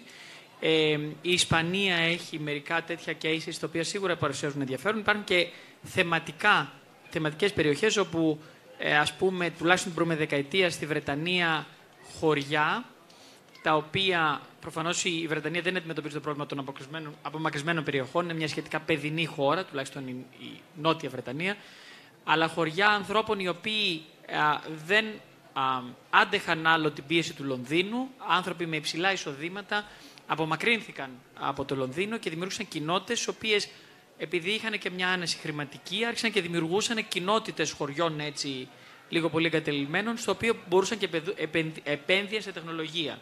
Έτσι είδαμε, ας πούμε, στη Βρετανία, στις αρχές της προηγούμενης δεκαετίας της τρέχουσας, α, κοινότητες α, ανθρώπων οι οποίοι χτίζανε μόνοι τους α, δίκτυα ε, υψηλών ταχυτήτων, δίκτυα ίντερνετ, ε, στα χωριά τους. Το κάνανε, ήταν ένα αυτοχρηματοδοτούμενο σχεδόν από αυτούς πρόγραμμα και είχε πάρα πολύ ενδιαφέρον. Από αυτό τι μπορούμε να καταλάβουμε; Τόσο από αυτά τα χωριά, όσο και καλώς κακώς θα επιστρέψω στο παράδειγμα της Αθήνας, ότι αυτό πρέπει να μάθουμε είναι ότι οι συμπράξεις είναι αυτές οι οποίες θα μας οδηγήσουν μπροστά. Και τι εννοώ με αυτό; Εννοώ ότι το μοντέλο και σε τέτοιες δύσκολες περιπτώσεις όπως στις Βαμβακούς, το μοντέλο που ο Δήμος κάνει αυτό. Η ΔΕΗ κάνει το άλλο. Εμείς οι κάτοικοι περιμένουμε εκείνο και κάποιος άλλος θέλει να κάνει κάτι άλλο. Δυστυχώς δεν, δεν δουλεύει. Ε, δεν δουλεύει γιατί ε, τόσο για τα χαρακτηριστικά της χώρας μας, η χώρα έχει κάπως φτάσει στα όρια της, αυτά τα θεσμικά, όσο και ασφαλώς γιατί οι προκλήσεις είναι πολύ διαφορετικές από ό,τι και σε άλλες χώρες ήταν στο, στο παρελθόν. Πρέπει να βρούμε νέα εργαλεία λοιπόν. Η τεχνολογία δεν είναι μόνο η τεχνολογία αυτή που μπαίνει στην πρίζα, αλλά είναι η καινοτομία, αυτό που θα σου δώσει νέα εργαλεία να δουλέψεις. Νέα εργαλεία λοιπόν είναι οι συμπράξεις και δεν εννοώ οι συμπράξεις ιδιωτικού και δημόσιου δικαι... διε... α, α, τομέα όπως τις καταλαβαίνουμε σε, στα έργα, αλλά κυρίως συμπράξει εκείνες που δεν έχουν ανάγκη οικονομικό αντικείμενο, αλλά έχουν ένα πεδίο κοινού ενδιαφέροντος ανάμεσα σε αυτό που λέμε ευρύτερα δημόσιο συμφέρον, στο Δήμο, στην είτε στο κράτος και ασφαλώς στον ιδιωτικό τομέα, ο οποίος έχει την περιέργεια, τη θέληση α, ή τη λόξα, να το πω αλλιώς, να προσφέρει και εκεί δεν πρέπει να έχουμε στεγανά, πρέπει να, να, να, να, να, να πιάνουμε την ευκαιρία από τα μαλλιά. Υπάρχουν τέτοια παραδείγματα. Στην Αθήνα εμείς δημιουργήσαμε ολόκληρο φορέα για αυτό το πράγμα, το Athens Partnership, με το οποίο μπορέσαμε και εκμεταλλευτήκαμε τέτοιου είδους συνέργειες ε, και το, το, ο, ο βασικός λόγος που το λέω είναι γιατί υπάρχει το παράδειγμα και το έχουμε κάνει και έχει βγει πετυχημένο γιατί είναι αυτό που έφερε την Αθήνα στην θέση της Ευρωπαϊκής Πρωτεύουσας καινοτομίας. και η καινοτομία δεν είναι τεχνολογική αλλά είναι πώς κάνεις τα πράγματα πιο αποδοτικά με τελείως διαφορετικούς τρόπους. Είναι αυτό που λέμε πώς κάναμε περισσότερα με λιγότερα και μέσα από αυτές τις συμπράξεις να καταφέρεις να παράξεις αυτά αποτελέσματα. Και φέρω ένα παράδειγμα. Το να επενδύουμε, ας πούμε, τεχνολογία σε ένα σχολείο, βάζοντας τάμπλετ υπολογιστές, είναι ένα ζήτημα. Πέφτουμε στην κατηγορία της τεχνολογίας ως εργαλείο. Το να σε βοηθήσει η τεχνολογία όμως να έχεις ένα πραγματικά πρωτοποριακό σχολείο, όπως είναι το πρόγραμμα και ε, ε, έχω πολύ βάσιμους λόγους που το λέω, έτσι μαθαίνω καλύτερα με τη χρηματοδότηση πάλι του Ιδρύματος που κάναμε στο Δήμο σε 25 σχολεία, σου κάνει ένα πρότυπο σχολείο. Άρα εδώ λοιπόν Έχουμε μεν τη σύμπραξη, γιατί αυτή ήταν μια σύμπραξη ενός μεγάλου φιλανθρωπικού ιδρύματος του Δήμου και του Πολυτεχνείου Κρήτη στην Αθήνα για αυτά τα σχολεία που σας λέω. Από την άλλη όμως, έχεις και κάτι άλλο φέρνεις στο τραπέζι. Το πώς η Βαμβακού και η κάθε Βαμβακού δεν θα λειτουργεί όπως είπατε και εσείς μόνη της, αλλά θα λειτουργεί σε ένα δίκτυο. Γιατί ασφαλώς τον επενδύσει στο σχολείο της Βαμβακού με, με το κανένα παιδί που έχει τώρα, ασφαλώς δεν έχει νόημα, αλλά πρέπει να δούμε τη Βαμβακού μελλοντικά σε βάθος χρόνου ως ένα κομβικό σημείο των γύρω σχολείων της περιοχής, να επενδύσεις στο σχολείο της και στην εκπαίδευση εδώ, ελπίζοντας πως δεν θα προσελκύσεις τα τρία παιδιά που μελλοντικά θα μπορούσες να έχεις, αλλά τα 33 παιδιά που θα μπορούσες να έχεις, να έχεις από τα γύρω χωριά. Άρα λοιπόν κέντρα, κέντρα αριστείας, κέντρα τεχνολογίας, κέντρα καινοτομίας, στην κλίμακα αυτής της περιοχής, η οποία ασφαλώς είναι αεροκατοικημένη, είναι μια απάντηση. Μόνοι μας δεν μπορούμε να κάνουμε τίποτα και το μόνοι μας είναι είτε μόνο αυτά τα χωριά, είτε μόνο ο ιδιωτικός ή ο δημόσιος τομέας. Δεν ξέρω αν θέλετε να πείτε κάτι. Συμφωνούμε απόλυτα. Και αυτή είναι ο στόχος μας. Το project αυτό θέλει τον άνθρωπο για να υλοποιηθεί. Άρα κανένας δεν μας περισσεύει άρα τη γύρω περιοχή τη θέλουμε μαζί μας. Ακόμα και τους κατοίκους του δικού μας χωριού προσπαθούμε με τους τρόπους μας να τους κάνουμε από το πιο απλό που είναι να ανοίξουν ε, τα σπίτια τους και να τα προσφέρουν ε, για να μείνουν κάποιες ομάδες τις οποίες περιγράφουμε κατά τη διάρκεια του χειμώνα που είναι ακατοίκητα μέχρι το πιο μεγάλο όνειρο το οποίο έχουν και να το δουν να γίνεται πραγματικότητα στο χωριό. Αν και είναι πάρα πολύ σύντομο το χρονικό διάστημα που ζείτε μόνιμα εδώ, εσείς οι δύο, ο Χάρης, με όσο τουλάχιστον περιγράψατε κάπως νωρίτερα, υπήρξε κάποια στιγμή που όσο και αν το θέλατε, όσο και αν σας έχουν πιστέψει και σας υποστηρίζουν, είπατε ότι μήπως να κάνω πίσω, δεν πολύ τραβάει, είναι λίγο δύσκολα τα πράγματα. Δεν είναι και εύκολο. Δεν είναι εύκολο. Δηλαδή, πας ένα Σαββατοκύριακο κάπου και αν το νερό δεν είναι, δεν είναι ζεστό, για παράδειγμα, γκρινιάζεις 48 ώρες μέχρι να ξαναγυρίσεις στην πόλη. Όταν λοιπόν έχεις να αντιμετωπίσεις το πρόβλημα της παρέας και της κοινωνικοποίησης που είναι πολύ σημαντικό ή των προμηθειών και του να διανύσεις μία ώρα, αν έχεις ξεχάσει κάτι, να το ξανασκεφτείς, αν θα ξανακάνεις αυτή τη διαδρομή ή όχι, οι καιρικές συνθήκες, αν σε βοηθούν ή όχι, μαζί με όλες τις άλλες υπόλοιπες δυσκολίες που είναι οι υποδομές, που είναι το πόσο κοντά μπορώ να βρω ένα φαρμακείο για παράδειγμα, Νομίζω ότι το είχαμε σκεφτεί πολύ καλά πριν έρθουμε εδώ. Και το έχουμε δουλέψει μέσα μας αρκετό καιρό, γιατί και με το Ίδρυμα δουλεύουμε στο συγκεκριμένο εγχείρημα τα τελευταία δύο χρόνια. Οπότε νομίζω ότι το είχαμε σκεφτεί αρκετά καλά. Εντάξει, υπήρχαν πολύ δύσκολες μέρες το χειμώνα. Εσύ θέλω να μας μιλήσεις ναι, τώρα. Εγώ, εσύ θέλω να μας μιλήσεις γιατί όταν πάγωσα ρισολίνε του εσύ, νερού. Και εσύ δεν έχεις και ρίζα-ρίζα, αυτό που λέμε με τον παραδοσιακό τρόπο. Από και όμως θέλω να πω ότι οι κάτοικοι του χωριού, τουλάχιστον ε, όλο αυτό το διάστημα, νομίζω ότι με έχουν στηρίξει πάρα πολύ. Και βλέπω πολλές φορές στα μάτια τους ένα θαυμασμό ότι ξεκίνησα από την Αθήνα και ήρθα να μείνω στη Βαμβακού. Δεν είναι κάτι τρομερό, είναι θέμα αλλαγής τρόπου ζωής. Αλλάζεις λίγο τη σκέψη σου, αλλάζεις την καθημερινότητά σου, το σκέφτεσαι λίγο διαφορετικά. Εντάξει, κάνεις κάποιες υποχωρήσεις, φτιάχνεις τις συνθήκες για να ζήσεις όπως θες να ζήσεις. Νομίζω ότι το μόνο που με έκανε έτσι λίγο να παγώσω ήταν οι παγωμένες σωλήνες όταν δεν είχαμε νερό. Όλα τα υπόλοιπα εντάξει. Τι μπορεί να κάνει κάποιος που έρχεται στη Βαμβακού τώρα και τι θα μπορεί να κάνει μετά το καλοκαίρι, που είπαμε ότι είναι και Λοιπόν, Σημαντικό. φέτος το καλοκαίρι έχουμε, ένα πλούσιο, έχουμε σχεδιάσει ένα πλούσιο πρόγραμμα δραστηριοτήτων. Αναβιώνουμε το θερινό σινεμά, γιατί στο σχολείο της Βαμβακού το 1930 υπήρχε θερινό σινεμά, οπότε αποφασίσαμε να το αναβιώσουμε. Άρα κάθε Τετάρτη και Παρασκευή θα έχουμε εδώ κάποιες προβολές, όχι μόνο στο σχολείο, αλλά και σε άλλους χώρους. Θα κινείται το σινεμά μας. Ε, σήμερα ήταν και η επίσημη πρώτη για το σινεμά στο σχολείο στην ε, μία αίθουσα. Ήταν η πρώτη μας προβολή. Ε, θα υπάρχουν, υπάρχουν 8 διαφορετικά προγράμματα για παιδιά. Ε, είναι κάποια περιηγητικά προγράμματα στο χωριό κυνήγι χαμένου θησαυρού κτλ. Και, και κάποια εργαστήρια έχουν να κάνουν όλα με τη φύση, έχουν να κάνουν με τη βαμβακού. Ε, από εκεί και πέρα έχουμε πολιτιστικές εκδηλώσεις, ε, οι οποίες αφορούν την ιστορία του χωριού, έτσι λίγο για να και οι επισκέπτες μας να μάθουν τι συνέβαινε σε αυτό το χωριό στο παρελθόν, γιατί θέλω να σας πω ότι δεν είμαστε η πρώτη ομάδα που ξεκινήσαμε να κάνουμε κάτι καλύτερο για το χωριό μας. Το 1898, μία αντίστοιχη ομάδα σαν και εμάς, ξεκίνησε να... ήταν η Ένωση Πληρεξουσίων Βαμβακούς και ήταν μια ομάδα η οποία έφτιαξε, προσπάθησε να, να αναβιώσεις στα δεδομένα τα τότε τέλος πάντων το χωριό και αποτέλεσε παράδειγμα, γιατί έγινε και νόμος του κράτους το 1912. Ο νόμος περί Δήμων και κοινοτήτων έχει παράδειγμα το η Ένωση Πληροξουσίων Βαμβακούς. Οπότε, γιατί όχι, να αποτελέσουμε κι εμείς ένα επόμενο παράδειγμα. Ε, πέρα λοιπόν από τις, αυτές τις πολιτιστικές εκδηλώσεις και τα εκπαιδευτικά προγράμματα, στα επόμενα βήματά μας το χειμώνα θα έχουμε ίσως κάποιους καλλιτέχνες εδώ, κύριε Κουμεντάκη. ίσως να δουλέψουμε λίγο πάνω στην τεχνολογία. να θα έχουμε ζεστό νερό. Να δουλέψουμε λίγο πάνω στην υγεία. Και είμαστε ανοιχτοί σε ιδέες, σε προτάσεις. Υπάρχουν τα σχέδια.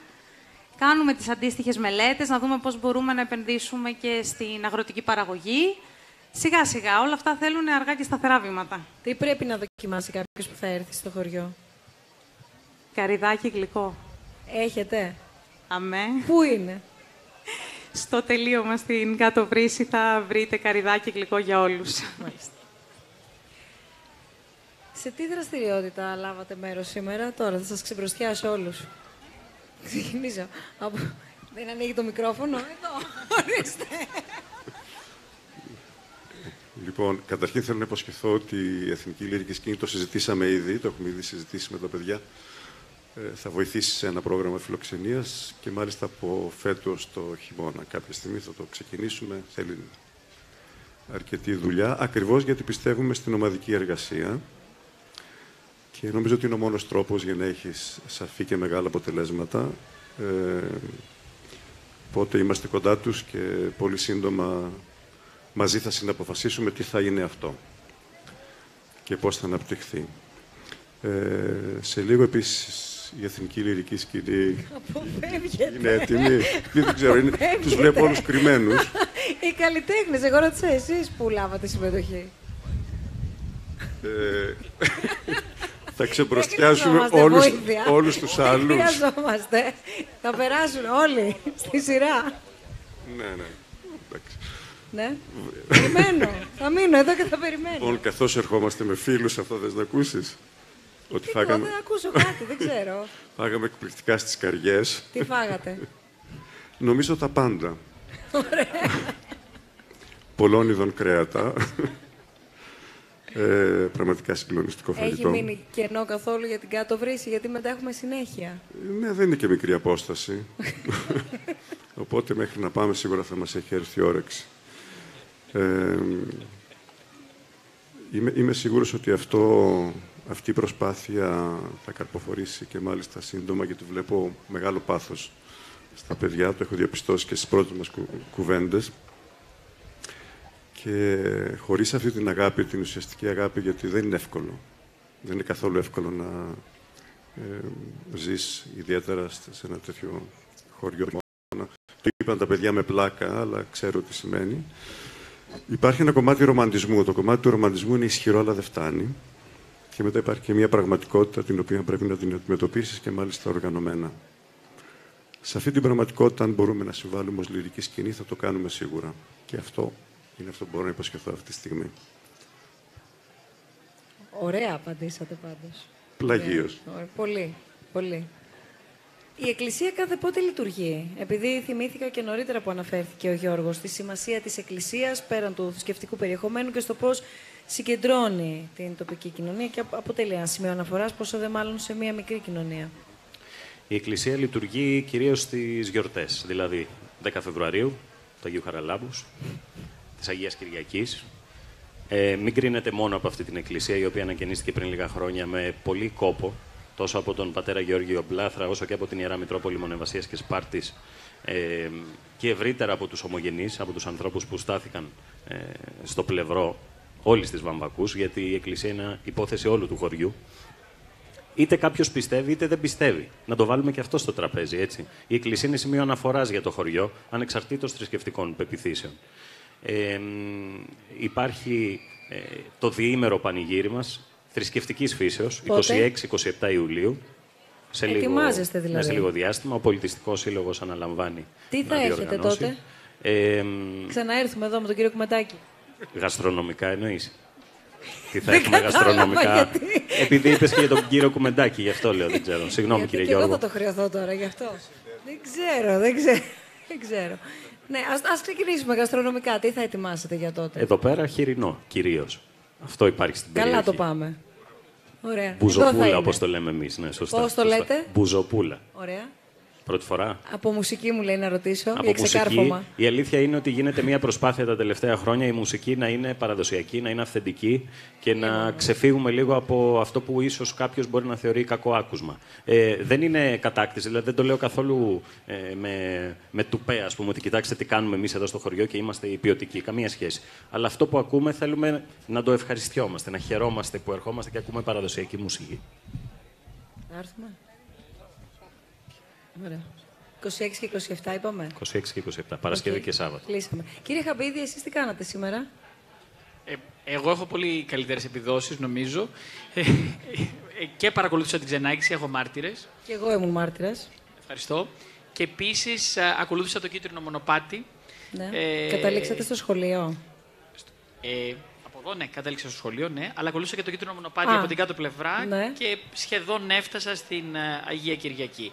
Επιστρέφοντας, μάλιστα, ε, εκμεταλλεύτηκα το, όλο το στήσιμο της εκδήλωσης και με χειροκροτούσαν οι εθελοντές του α, από εδώ της διοργάνωσης, νομίζοντας ότι εγώ έχω τρέξει μαζί με τους υπόλοιπους δρομείς. Ωραίο αυτό. ναι, ναι. Καλό. Παρότι απλώς πήγα και Καλό. γύρισα περπατώντα ε, αψεγάδιαστος, χωρίς να υδρώσω. Κύριε Δρακόπουλε. Πή- Πήραμε μέρος στο, στο μικρό αγώνα. Πιο πολύ να είναι mountain walk, αλλά ήταν πάρα- πραγματικά πολύ ωραία η διαδρομή. Και επίσης ε, ζούμε μια μέρα, ε, μια καθημερινή μέρα και ζούμε και ευχαριστιόμαστε για τη ζωή η οποία υπάρχει στο χωριό αυτό, ε, αγναντεύοντας. Κύριε Κουλουβάρη. Εγώ έζησα τον αγώνα, τον ετοιμάσαμε τον τελευταίο μήνα. Ο Πάρονας είναι καταπληκτικό βουνό. Καταπληκτικό βουνό για να γίνουν αγώνες ορεινού τρεξίματος. Μπορεί να έχει, συγγνώμη τώρα, συγγνώμη που διακόπτω, αλλά μπορεί να, να προσελκύσει αθλητικό τουρισμό; Έχει τέτοιες προδιαγραφές και δυνατότητες σε ευρύτερη περιοχή; Είναι ένα παράδειγμα φυσικά ο αγώνας, ο ορεινός αγώνας. Από εκεί και πέρα; Μπορεί να ικανοποιήσει τον κάθε αθλητή. Είτε είναι περιπατητής, όπως είπε ο κ. Δρακόπουλος, είτε θέλει αγωνιστικά να τον τρέξει τον αγώνα. Μπορούμε και να ενταχθεί και στο διεθνές ε, ημερολόγιο των αγώνων και να έχουμε και από το εξωτερικό.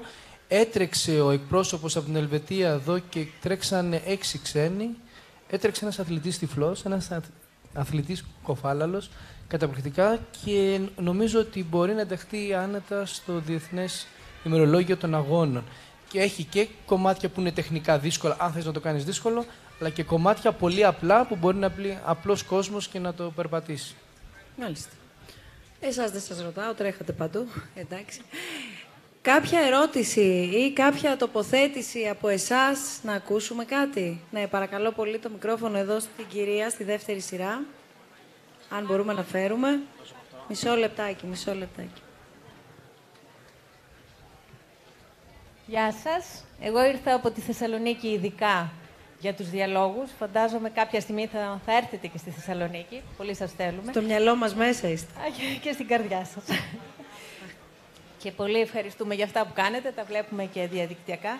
Ε, με την επιστροφή στις ρίζες, λοιπόν, συνειδητοποίησα ότι εγώ δεν έχω ρίζες. Η πρόγονή μου από τη μεριά της μητέρας μου πρόσφυγες από τον Πόντο, του πατέρα μου από την Κωνσταντινούπολη. Δεν είχαμε ένα χωριό, δεν έχουμε για να πάμε, οπότε προτείνω η Βαμβακού, ιδεατά, να γίνουν οι ρίζες όσων δεν έχουν χωριό. Εντάξει. Επίσης, κύριε Κουμεντάκη, νομίζω ότι έγινε λίγο η αφορμή να έρθει η λίμνη των Κύκνων επάνω. Ξεκίνησα, ζήτησα από το Ίδρυμα Νιάρχος να έρθει και στη Θεσσαλονίκη και κάπως έτσι με τον κύριο Σάρτη και τους λοιπούς. Μιλήσαμε και θα έρθει, νομίζω, για τρεις παραστάσεις. Αυτά να ευχαριστήσω και τον κύριο Τρακόπουλο, μια που είμαι εδώ, για μια μεγάλη δωρεά που κάναν στο νοσοκομείο Αχέπα, μέσω του Μαζί που είμαι πρόεδρος, έναν ε, ψηφιακό αγιογράφο. Προς το παρόν έχουν σωθεί από τον Ιανουάριο περίπου 400 ψυχές που αλλιώς δεν θα αντιμετωπιζόταν και είναι για τη Βόρειο Ελλάδα μοναδικό μηχάνημα και σας ευχαριστούμε πολύ. Σε ευχαριστούμε πάρα πολύ. Το μικρόφωνο παρακαλούμε πολύ και πάλι εδώ μπροστά, στην πρώτη σειρά. Το μικρόφωνο. Ναι, γεια σας και από μένα. Ε, ήθελα να κάνω ένα σχόλιο, δεν έχω ερώτηση. Νωρίτερα υ- υπήρξε η ερώτηση αν θα πετύχετε, πώς θα πετύχετε, τι θα γίνει. Έτσι, ήθελα να φέρω ένα παράδειγμα λίγο από τη, από τη- από τη δικιά μου τη μεριά, από τεχνολογία. Έτσι, αν κοιτάξουμε σε παγκόσμιο επίπεδο, υπάρχουν πολλές εταιρείες τεχνολογίας που είναι κολοσσοί σήμερα. Και όταν ξεκίνησαν όμως, ξεκίνησαν μια μικρή ομάδα ανθρώπων. Έτσι, μια ομάδα που σε ένα γκαράζ ίσως με κάποια ιδέα και φτάσαμε μετά από πολλή προσπάθεια να γίνουν κολοσσοί και σήμερα να τους θαυμάζουν όλοι. Ε, πιστεύω ότι α- α- και αυτό έγινε, το ξέρουμε όλοι, γιατί είχαν κάποια χαρακτηριστικά. Τα χαρακτηριστικά αυτά ποια ήταν, ήταν νέοι άνθρωποι, είχαν ένα όραμα, είχαν όρεξη, είχαν πάθος, ε, θέλαν να δουλέψουν πολύ, ε, αλλη- αλληλοσυμπληρωνόντουσαν μεταξύ τους και βέβαια είχαν και μια υποστήριξη, έτσι, κάποιο φάντι, οτιδήποτε να τους βοηθήσει ώστε να υλοποιήσουν το, το όραμά τους και να φτάσουν εκεί που φτάσανε. Εταιρείες εκατοντάδων, εκατομμυρίων ή και δισεκατομμυρίων. Πετύχαν λοιπόν για αυτό το λόγο και βλέποντας εσάς, εσείς το έχετε αυτό. Όλα αυτά τα χαρακτηριστικά τα έχετε. Οπότε είμαστε όλοι σίγουροι ότι θα πετύχετε. Και το σημαντικό για εσά, έτσι το βλέπω εγώ απ' έξω, είναι ότι όταν θα έρθει αυτή η επιτυχία που θα έρθει, ε, αυτό θα γίνει πιλότος και για άλλα μέρη της Ελλάδος, σίγουρα. Οπότε εσείς θα έχετε διπλή χαρά. Από τη μια μεριά θα, μεριά θα έχετε πετύχει στο μέρος σας, από την άλλη μεριά όμως θα έχετε και τη δυνατότητα να δείτε το, αυτό που κάνατε να, να γίνεται και σε, στην υπόλοιπη Ελλάδα. Αυτό σαν σχόλιο. Παρακαλώ πολύ ο κύριος εκεί. Γεια σας. Θέλω να ευχαριστήσω καταρχάς το Ίδρυμα για τις εκδηλώσεις αυτές που κάνει. Εδώ μπορεί να γίνει μια αφετηρία, ώστε ο Πάρωνας να γίνει μια Ελβετία. Μπορούν να γίνουν τέτοιες δράσεις με μικρό κόστος. Υπάρχουν ιδέες να γίνει γαστρονομικός προορισμός, να γίνει ε, βιωματικός τουρισμός, να γίνει πολιτιστικός τουρισμός. Υπάρχει μια ιδέα, μπορεί να είναι σαν ένα μικρό κερί, που μπορεί να ανάψει μια μεγάλη φωτιά. Που μπορεί δηλαδή να εξαπλωθεί και να δώσει δουλειά στους ανθρώπους. Και αυτό το είναι το πρώτο στην περιοχή μας για να μπορέσει κάτι να αναπτυχθεί. Χρειάζεται πρωτογενή το τομέα να στηριχτεί με δράσεις, με τουρκομία, με αυτά. Χρειάζεται τουριστική ανάπτυξη που μπορεί να έρθει από βιωματικό τουρισμό, από γαστρονομικό τουρισμό, από τέχνη, πολιτισμός, που μπορούν να δώσουν πολλαπλάσιο όφελος. Ένα μικρό αρχικό κεφάλαιο μπορεί να πολλαπλασιάσει και να ανταποδίδει και να φέρνει. Βλέπουμε στο διπλανό χωριό, ας πούμε, τα Τσίτζινα, έγιναν κάποιοι ξενώνες, ήρθαν κάποιοι σύλλογοι και σιγά σιγά είδαμε ότι ενώ όλοι πίστευαν ότι τα Τσίτζινα σαν ορεινό χωριό θα έχει πολύ κόσμο το καλοκαίρι, είχε όλο το χειμώνα. Όπως είναι ο Άγιος Πέτρος με τη Μαλεβή. Είναι μέρη που είναι ιστορικά. Η Βαρβίτσα που ήταν ο καπετάν Ζαχαριάς ο Βαρβιτσότης 16 χρονών ο Θεόδωρος Κολοκορτρώνης ήταν πρωτοπαλίκαρο του καπετάν Ζαχαριά που αυτά μπορούν να αναδειχτούν και υπάρχει κόσμος πολύ που ακούει. Εγώ πριν από ένα-δύο χρόνια είχα πει και είχαμε πει και με το Δήμο να κάνουμε τον Πάρουνα γαστρονομικό προορισμό. Έχω μιλήσει με σεφ, με αρχισεφ, με τον Στέφανο το Διαμαντόπουλο στα γλυκά που έχει πάει πέντε φορές, έχει πάρει βραβείο, παγκόσμιο βραβείο πρώτο στη σοκολάτα, με την Μπέρι την Παναγάκου, το Μαμαλάκι, το, τον Καρούμπα που είναι πρόεδρος των Αρχιμαγείρων, που θα μπορούσαμε να κάνουμε κάποιες δράσεις που θα έρχονται ο κόσμος γιατί στον Πάρνα υπάρχουν κάποια χαρακτηριστικά. Έχει τα μυρώνια όπως λέγονται, κάποια χορτάρια που τα τρώνε τα ζώα και περνάει η γεύση στο κρέας, στο γάλα, στο τυρί. Που μπορεί να είναι κάτι μοναδικό. Για μένα ήταν σημαντικό όταν άκουσα στη Νέα Υόρκη ότι ποιο είναι το καλύτερο κρέας σε ένα σφαγείο και λέγανε του Πάρνονα. Δεν το πίστευα. Ή στα Γιάννενα. Το άκουσα στην τηλεόραση. Σε ένα σφαγείο με 3.000 σφαχτά να τους ρωτάνε και να απαντάει ο αυτός ότι είναι του Πάρουνα το καλύτερο αρνί ή το τυρί. Υπάρχουν λοιπόν πάρα πολλές πρόπτικες που μπορούν να αναπτύξουν την περιοχή, να έχει ο κόσμος δουλειά και τότε θα είναι. Και θα είναι για χειμώνα και καλοκαίρι. Υπάρχουν πολλές ιδέες που θα μπορούσε να δώσει. Ο Μιστράς έχει ένα εκατομμύριο επισκέπτες. Υπάρχουν κάποια βιβλία. Ένα είχα πει του κυρίου Κατσαφάνα που είναι πολυγραφότατος. Το δεσποτάτο του Μιστρά, η απάντηση στην πρόκληση της ιστορίας. Είναι έτοιμο για επανέκδοση. Το ζητάνε από το εξωτερικό. Η πρώτη έκδοση έχει εξαντληθεί. Θα μπορεί να είναι στο Μιστρά, να είναι παντού, να Υπάρχουν δημιουργοί, όπως ο, ο Ευάγγελος ο Γιαμουρής, ο οποίος είναι φίλος μου και θέλει να έρθει να τραγουδήσει. Χθες έδινε συνέντευξη στη Νέα Υόρκη στο Ελλάς Radio. Ήταν με τον πρόεδρο της Δημοκρατίας ε, στο Πεκίνο και τραγούδισε στην εκδήλωση που είχαν για τον ασιατικό πολιτισμό. Μπορούν λοιπόν να γίνουν πάρα πολλά.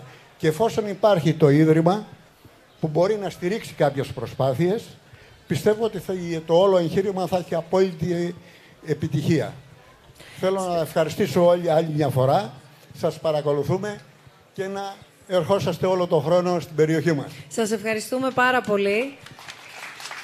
Παρακαλώ πολύ εδώ στην πρώτη σειρά η κυρία θέλει να κάνει ένα ερώτημα. Στο μεταξύ εγώ θέλω να ρωτήσω γιατί ούτως ή άλλως ακούγοντας και τα όσα περιέγραψε ο, ο, ο κύριος που μόλις ακούσαμε καταλαβαίνουμε το εύρος κύριε Δρακόπουλε και των πραγμάτων που μπορούν να γίνουν και των δυνατοτήτων που υπάρχουν Η διάθεση, βέβαια, εγώ θα συμπληρώσω τώρα από τη δική μου σκοπιά. Πολλές φορές έχουμε δει, όσοι είμαστε παρατηρητές, για υποστήριξη να υπάρχει, ε, αρκεί να υπάρχει και η υλοποίηση στην πορεία, πέρα από τη στιγμιαία χαρά της ε, υποστήριξης εννοώ. Οπότε αυτό που θέλω να ρωτήσω είναι αν θα μπορούσε να σκεφτεί κανείς ότι ό,τι συμβαίνει εδώ και ό,τι συζητάμε και ό,τι πρόκειται να γίνει μπορεί να αποτελέσει την αφετηρία έτσι ώστε πολλαπλασιαστικά να γίνει κάτι για την ευρύτερη περιοχή ή να εκπονηθεί ένα σχέδιο που να αφορά, εν πάση περιπτώσει, την ευρύτερη περιοχή. Ναι, ε, πρώτα απ' όλα να, να πω ότι είπατε η- η- στην αρχή ότι να γίνει η Λακωνία, σαν, η, ο Πάρονας, σαν την Ελβετία. Δεν έχει να ζηλέψει τίποτε ο Πάρονας από την Ελβετία, ούτε η Ελλάδα έχει να ζηλέψει τίποτε. Το θέμα είναι ότι και ο, και ο ανθρώπινος παράγοντας και η φύση που έχουμε στην Ελλάδα απλώς χρειάζεται σωστή αξιοποίηση. Αυτό είναι το ένα. Το άλλο είναι ότι πιστεύω πάντα στις, ε, στις, στις πολλαπλασιαστικές επιδράσεις κάποιου γεγονότος. Λοιπόν, δεν υπάρχει αμφιβολία ότι χάρη στη Βαμβακού στρέψαμε πάλι την προσοχή μας στην ευρύτερη περιοχή της Λακωνίας. Όπως ξέρετε, ε, έχουμε κάνει δράσεις για παραπάνω από 22 χρόνια σε όλη, σε όλη την επικράτεια και αυτό στάθηκε σαν αφορμή ε, και πάλι να εστιάσουμε τη- την προσοχή μας στην ευρύτερη περιοχή της Λακωνίας. Και ως εκ τούτου είχα συναντηθεί και με τον σεβασμένο το Μητροπολίτη Ευστάθιο που είναι σήμερα και μαζί μας και τον ευχαριστούμε. Και χάρη σε αυτό προχωράμε τώρα στην, ε, ε, στη σχολή το να, το, το, το να χτίσουμε και να, και να εξοπλίσουμε τη σχολή Βυζαντινής Μουσικής και Αγιογραφίας. Επίσης, ε, ε, όσοι μας παρακολουθείτε, ξέρετε αυτό που κάνουμε την, την πρωτοβουλία για την υγεία, που είναι ένα μεγάλο project και πάλι σε όλη την επικράτεια. Ε, επισκεφτήκαμε το νοσοκομείο της Σπάρτης, ε, το οποίο είναι αρκετά στενάχωρο στην κατάσταση στην οποία βρίσκεται και έχουμε αποφασίσει ε, να χτίσουμε και το καινούριο νοσοκομείο στη Σπάρτη. Και, Είχε έρθει πριν από ένα μήνα περίπου ο Ρέντζο Πιάνο, ο οποίος είναι ο, ο διεθνούς φήμης αρχιτέκτονας από την Ιταλία και πολύ φίλος του Ιδρύματος, γιατί όπως ξέρετε έχει χτίσει το κέντρο πολιτισμού στην Αθήνα. Ε, θα χτίσει και τα δύο νοσοκομεία και στην Κομωτινή και στη Θεσσαλονίκη και θα προχωρήσουμε, ε, βέβαια με τη σύμφωνη γνώμη, ε, να χτίσει και το νοσοκομείο, καινούριο νοσοκομείο στη Σπάρτη.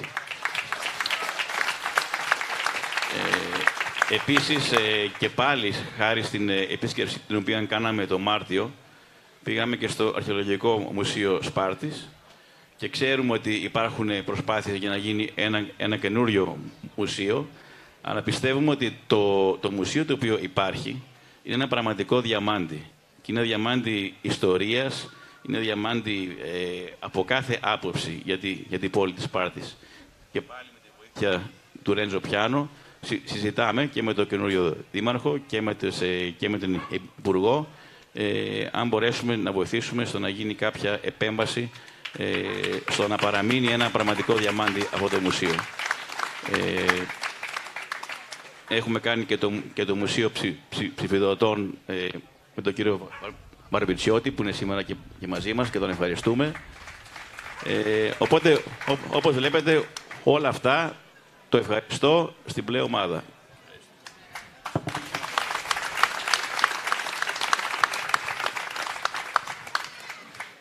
Σας ακούμε. Σημαδιακό. Εφτά Να η ώρα. Να τελειώσει. Όχι, εντάξει. Με λένε Ελένη Γαζή και έρχομαι στη Βαβακού σήμερα με έναν τεράστιο ενθουσιασμό γιατί εδώ βλέπω να υλοποιείται κάτι που επί 30 χρόνια με μια εταιρεία που ίδρυσα εγώ με το, με το στόχο να δίνει τη δυνατότητα σε νέους ανθρώπους από όλο τον κόσμο να γνωρίζουν μακρινά μέρη της Ελλάδας και να προσφέρουν θελοντικό έργο. Και κάναμε έργα αυτά τα 30 χρόνια από τον Εύρο στην Κρήτη, από τη Μυτιλίνη μέχρι την Κέρκυρα, όμως δεν ριζώσαμε πουθενά. Γιατί δεν βρήκαμε πουθενά πέντε ανθρώπους και ένα ίδρυμα το οποίο θα τους στηρίξει. Δηλαδή, ενώ πήγαμε, ας πούμε, σε ένα χωριό και φτιάξαμε μια ξερολιθιά ή κάναμε την ε, βάψουμε ενός σχολείου ή τα, τα κοινοτικά αρχεία στη Μυτιλίνη, ε, τελείωσε αυτό. χάθηκε το έργο, όχι μάλλον το έργο παρέμεινε, αλλά χάθηκε όλη αυτή η προσπάθεια. Τι έμεινε όμως; Έμεινε σε χιλιάδες νέους εθελοντές από όλο τον κόσμο αυτή η εμπειρία. Γνωρίσανε τη χώρα μας αλλιώς, γιατί δεν πήγαμε βέβαια στη Μύκονο, όχι έχει κάτι, έχουμε κάτι με τη Μύκονο, αλλά πήγαμε σε μέρη πραγματικά. Κάναμε τεράστιο έργο στην Ήπειρο. Εκεί μόνο βρήκαμε ένα κοινοτάρχη που δεν είχε άλλους πέντε, αλλά είχε μάλλον ανθρώπους που λέγαν «Τι τα θες αυτά, βρε πρόεδρε, τι τα θες αυτά».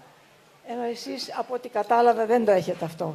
Χαίρομαι πάρα πολύ και είμαι στη διάθεσή σας να φέρω παιδιά εδώ, νέους από όλο τον κόσμο, να κάνουν ένα έργο σημαντικό. Ευχαριστώ.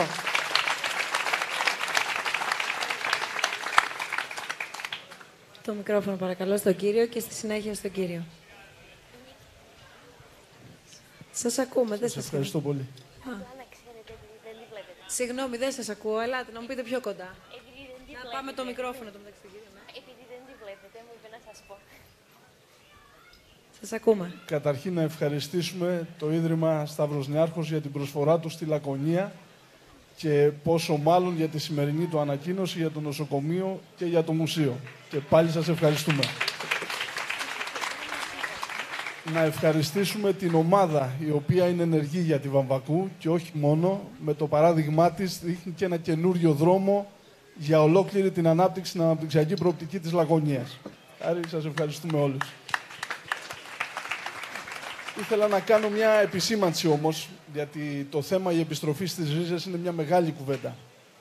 Ε, πριν από λίγα χρόνια, το 1950, ο παγκόσμιος πληθυσμός που ζούσε σε πόλεις ήταν μόλις το 35% πριν από λίγα χρόνια. Σήμερα, το 2019, έχει ξεπεράσει το 55%. Πάνω από το μισό πληθυσμό της γης ζει πια σε αστικά κέντρα. Αυτό έχει αλλάξει πάρα πολύ και την οικονομία, αλλά και τις ε, συνθήκες στις οποίες ζούμε. Έχει αλλάξει τις υποδομές, έχει αλλάξει τις διατροφικές συνθήκες, τις διατροφικές ανάγκες και έχει αλλάξει και το, τον τρόπο, αν θέλετε, παραγωγής τροφίμων. Έχουμε πάει σε ένα πιο βιομηχανοποιημένο τρόπο παραγωγής τροφίμων και έχουμε φύγει από τον παραδοσιακό τρόπο.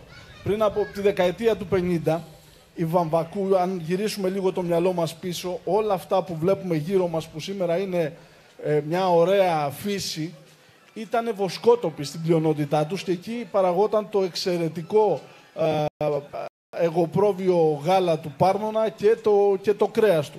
Αυτό έχει αλλάξει. Το ερώτημα είναι, μπορούμε να γυρίσουμε το χρόνο πίσω; Μάλλον νομίζω ότι αυτό θα ήταν μια ρομαντική ε, ε, θεώρηση των πραγμάτων παρά μια πραγματικότητα. Αυτό όμως που μπορούμε να κάνουμε, αλλά χρειάζεται προσπάθεια, χρειάζεται μεγάλη προσπάθεια, είναι να στηρίξουμε οικονομίες και να στηρίξουμε δράσεις που θα κρατήσουν τον κόσμο πίσω, δημιουργώντας οικονομίες προς αυτή την κατεύθυνση. Δεν είναι εύκολο. Είναι δύσκολη μια τέτοια προσπάθεια, ωστόσο για μένα πρέπει να, πρέπει να επιτευχθεί. Γιατί αν το σενάριο ε, συνεχίσει σε αυτή του τη μορφή, δηλαδή ο κόσμος να πηγαίνει και να ζει περισσότερο στα αστικά κέντρα, τότε σε λίγα χρόνια μια ε, διατροφική κρίση μπορεί να είναι το επόμενο γεγονός που μπορεί να μειώσει τον παγκόσμιο πληθυσμό. Και καλό είναι να μην το δούμε αυτό. Σας ευχαριστώ πολύ όλους. Ευχαριστούμε πολύ.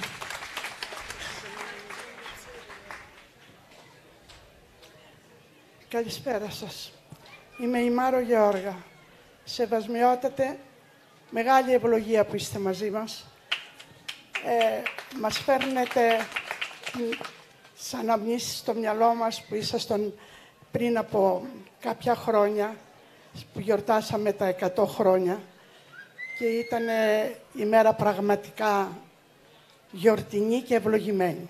Ευχαριστούμε πάρα πολύ που είστε μαζί μας. Κύριε Δρακόπουλε, κυρίες και κύριοι, αγαπημένοι συμπατριώτες και όλοι οι προσκεκλημένοι που είστε εδώ, σας ευχαριστούμε και είναι μεγάλη τιμή που είστε μαζί μας να γιορτάσουμε αυτή τη λαμπρή μέρα. Είναι λαμπρή μέρα σήμερα, κύριε Δρακόπουλε, για τη Βαμβακού. Εγώ είμαι από τις γυραιότερες γυναίκες της Βαμβακούς.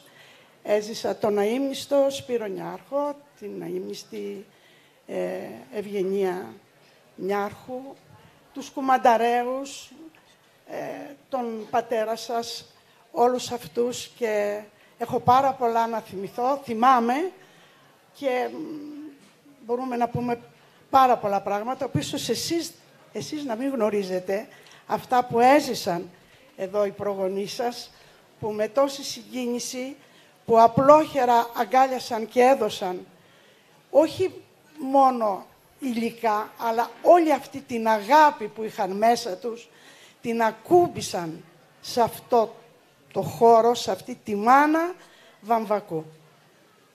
Ε, εγώ δεν θα πω τίποτα από όλα αυτά, δεν μπορώ, δεν κατέχω. Εκείνο που θέλω να πω είναι τις μεγάλες, τις πολύ μεγάλες ευχαριστίες μας σε εσάς, στην μπλε ομάδα και δεν πρέπει, πιστεύω, να λέμε δεν ξέρουμε αν πετύχει, δεν ξέρουμε να μην πετύχει. Πάντα μια χούφτα σπόρο ρίχνουμε. Αυτός η χούφτα σπόρος έπεσε και βρήκε γόνιμη γη. Βρήκε σας. Βρήκε τις ευλογίες του σεβασμιωτάτου που αγαπάει πολύ τη Βαμβακού και μας έχει στείλει το διαμάτι, τον αδάμαντα, πατέρα Γεώργιο. Και δεν είναι μόνο τρεις-πέντε μέρες, είναι πολλές μέρες. μέρες. Ευλογάει όλα τα εξοκλήσια. Ε, ευλογάει γάμους, λίγους βέβαια, καταβοδώνει βαμβακίτες, χωρίς να δέχεται ένα ευρώ αμοιβή. Και έλεγε, αν θέλετε χρήματα, ορίστε. Λοιπόν, και σας ευχαριστούμε, Σεβασμιότατε, για αυτή σας την αγάπη. Και ελπίζουμε να συνεχίσει αυτή η αγάπη για, ε, προς την ε, αγαπημένη μας Βαμβακού. Σας ευχαριστούμε πάρα πολύ. Εκ μέρους όλου του χωριού.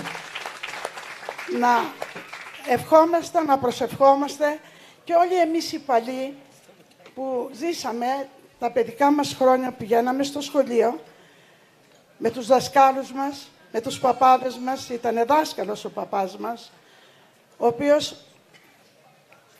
τη μισή μέρα έκανε τα, τα, τις τρεις τάξεις και το απόγευμα έκανε τις άλλες τρεις και κάθε Σάββατο κάναμε κατηχητικό στο σχολείο. Αλλή μονόμασαν δεν ξέραμε το τροπάριο. Γι' αυτό γίναμε χριστιανοί καλοί, γίναμε άνθρωποι της Πρόεδρου, ερήμαξε η Βαμβακού, δεν ερήμαξε γιατί δεν αγαπάγαμε το χωριό μας, ξεκίνησαν για προκοπή και για ψωμί. Και είχαμε την ευλογία από τα παλιά χρόνια να έχουμε το ελληνικό σχολείο και όλοι οι γονείς σας, οι πατεράδες μας ήταν μορφωμένοι και όπου πήγαν λάμψανε, συγγνώμη, σαν αστέρες. Δεν θέλω να σας κουράσω γιατί με πρόδωσε και η φωνή μου. Ευχαριστούμε πάρα πολύ τα παιδιά μας να συνεχίσουν εμείς με τις ευχές μας, η Παναγιά μας, ο Άγιος Χαράλαμπος και ο Άγιος Πενταλέμονας δεν πρόκειται να αφήσουν αυτό το χωριό. Και να θυμηθώ κάτι, πριν από καμιά δεκαριά χρόνια, δεκαπέντε, και τότε ήταν καμιά σαρανταριά οι βαμβακίτες εδώ που ήτανε, πήγαινα και έβλεπα μία γερόντισσα που... και μου λέει «Μάρο μου, ο χειμώνας δεν περνιέται». Αυτή η ερημιά και να μας πιάσει τίποτα, ούτε γιατρός, ούτε τίποτα. Και ακούω ένα βούβου και λέω, λες να μου χτύπησε κανείς την πόρτα. Και εγώ της έλεγα, κάποιος χτύπησε την πόρτα, μα ήταν ο Βόρειας. Ευχαριστώ πολύ.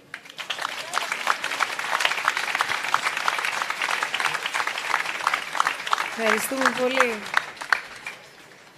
Ναι, παρακαλώ στο σεβασμιότατο πρώτα αν έχετε την καλοσύνη και αμέσως μετά σας ακούμε. άφησα να μιλήσω τελευταίος. Γιατί θυμάμαι ένα περιστατικό. Μια ομάδα μαθητών του Λυκείου επήγε στον Μητροπολίτη Νέας Μύρνης τον τότε και τον παρεκάλεσε και τον κάλεσε σε μια εκδήλωση του γυμνασίου. Και τους ρωτάει ο Μητροπολίτης, ποιο είναι το θέμα της γιορτής σας για να ετοιμαστώ να μιλήσω; Και τα παιδιά του είπαν, δεν σας καλούμε για να έρθετε να μιλήσετε. Σας καλούμε για να έρθετε να μας ακούσετε. Και εγώ λοιπόν ήρθα για να σας ακούσω. Και χάνομαι εμείς οι μεγαλύτεροι στην ηλικία πάρα πολλά όταν δεν ακούμε εσάς τους μικρότερους. Διότι οι νεότεροι έχουν πιο ευαίσθητες κεραίες και συλλαμβάνουν ευκολότερα τα μηνύματα των καιρών. Άκουσα με πολύ προσοχή όλους σας και σας εθαύμασα και σας επενώ και σας συγχαίρω. διότι μιλήσατε και με το μυαλό σας το καλλιεργημένο και προπάντων με την καρδιά σας την καλλιεργημένη. Ήρθαμε όλοι εδώ στη Βαμβακού, στις οποίας έχει χάρη και ομορφιά το πιο φτωχό κλαδί, το πιο μικρό χορτάρι. Ήρθαμε σε αυτό το χωριό το τιμημένο και δοξασμένο, που το ευλόγησε ο καπετάν Δεσπότης που τον βλέπουμε μπροστά μας και το εξυπηρέτησε ένα πλήθος ανθρώπων διακεκριμένων που είχαν εδώ τις ρίζες τους και την γέννησή τους και ύστερα διέπρεψαν σε όλα της γης τα, μύ, τα μήκη και τα πλάτη όπως η οικογένεια Νιάρχος. Πρόσεξε αυτά που είπε ο εκπρόσωπος της λυρικής σκηνής για τα ιστέρνια. Και μέσα μου δημιουργήθηκε και μια επιθυμία. Μαζί με αυτά που είπατε, και είναι αξιοπρόσεκτα και θα βοηθήσει πολύ την ομάδα εδώ των παιδιών, είναι και κάτι που δεν το είπατε εσείς, επιτρέψτε μου να το πω εγώ. Εφημέριος στα ιστέρνια, εκείνη την εποχή που θα είσαστε ή πριν ή μετά, εχρημάτισε ένας αρχιεπίσκοπος Αθηνών και Πάσης Ελλάδος, ο Ιερώνυμος ο πρώτος. Ποιος είναι ο προβληματισμός ο δικός μου; Αν πάνε καλά τα πράγματα, να έρθω εγώ εδώ να εφημερεύσω. Κι ας είμαι Μητροπολίτης. Πάντως, θα ήθελα να προσθέσω και συγχωρήστε με, ότι για να γίνει κάτι σπουδαίο και μεγάλο, εγώ πιστεύω και συγχαίρω την κυρία Γιώργα, που είπε ότι έπεσε ο σπόρος. Όταν ρίχνει ο γεωργός τον σπόρο τη μια μέρα, δεν παίρνει το δρεπάνι την επομένη να πάει να το θερήσει, περιμένει. Περνάνε δύσκολες ημέρες, καιρικές συνθήκες κάποτε και άσχημες και όταν έρχεται το θέρος, τότε πηγαίνει και συνάζει τον καρπόν. Έπεσε λοιπόν τώρα ο καρπός. Μη θέλουμε αμέσως να δούμε αποτελέσματα.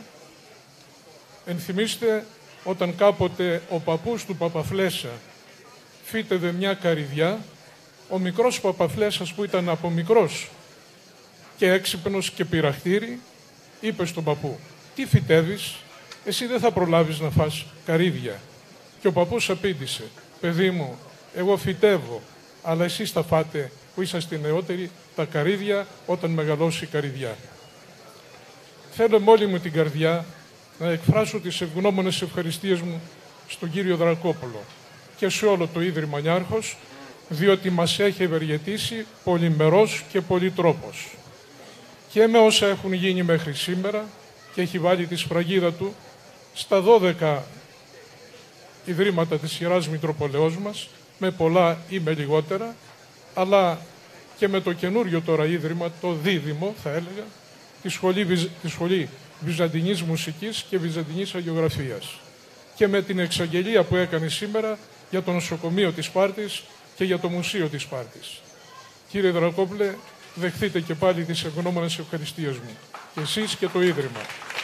Αιωνία η μνήμη να είναι των αενίστων Σπύρου και Σταύρου Νιάρχου.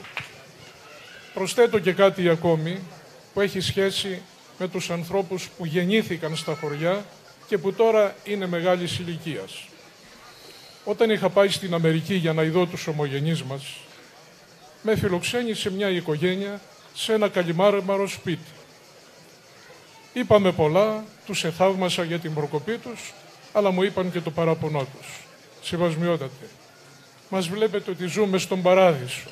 Έχουμε πολύ χαρά, είμαστε επιτυχημένοι και χρήματα έχουμε. Όλα τα μας τα έδωσε ο Θεός με χεριά. Όμως έχουμε ένα πρόβλημα. Η μητέρα μου, λέει ο νοικοκύρης του σπιτιού, βρίσκεται στο χωριό και με κανέναν τρόπο δεν θέλει να την πάρουμε εδώ πέρα. Εγώ θεώρησα ότι το πράγμα είναι πολύ εύκολο και τους είπα, όταν θα γυρίσω στην Ελλάδα θα πάω κατευθείαν στο χωριό σας και θα την πείσω εγώ. Πράγματι, την επομένη της επιστροφής μου, επήγα στο χωριό. Συζήτησα με τη μητέρα, τη γιαγιά, της έφερα τα χαιρετίσματα και κάποια δώρα από τα παιδιά της και της είπα το παράπονό τους. Και την παρακάλεσα να αφήσει το παραγόνι της και να πάει εκεί. Και ξέρετε τι μου απήντησε; Δέσποτα, εγώ χωρίς να κάνω έγκλημα, φυλακή δεν πάω. Σκεφτείτε την αγάπη που είχε για τον τόπο της γεννήσεως και της ζωής της εν γέννη. Υπάρχει λοιπόν πολύ μεγάλη αγάπη των ηλικιωμένων για το χωριό. Δυστυχώς εδώ δεν προλάβαμε να δώσουμε την ελπίδα της αναβιώσεως μπροστά από μερικά χρόνια και έχουν φύγει και μόνο 11 είναι οι μόνιμοι κάτοικοι του χωριού. Όμως ποτέ δεν είναι αργά. Ας ξεκινήσουμε. Εγώ πιστεύω ότι απόψε οι ψυχές αυτών που αναπαύονται στο κημητήριο του χωριού θα αγάλλονται και θα περιμένουν και αυτές να ειδούν και η ιερέα στο χωριό κάθε Κυριακή. Την καμπάνα να χτυπάει συχνά πυκνά και το σχολείο ακόμη να λειτουργήσει. Δεν είμαι θεροβάμων, αλλά πιστεύω ότι όταν ο άνθρωπος θέλει, τα πάντα κατορθώνει. Διότι όπου υπάρχει ένα θέλω, υπάρχει και ένα δύναμε. Μην ξεχνάμε ότι στην, στην προσπάθειά μας δύο πράγματα είναι συντελεστικά της επιτυχίας και της πρόοδου.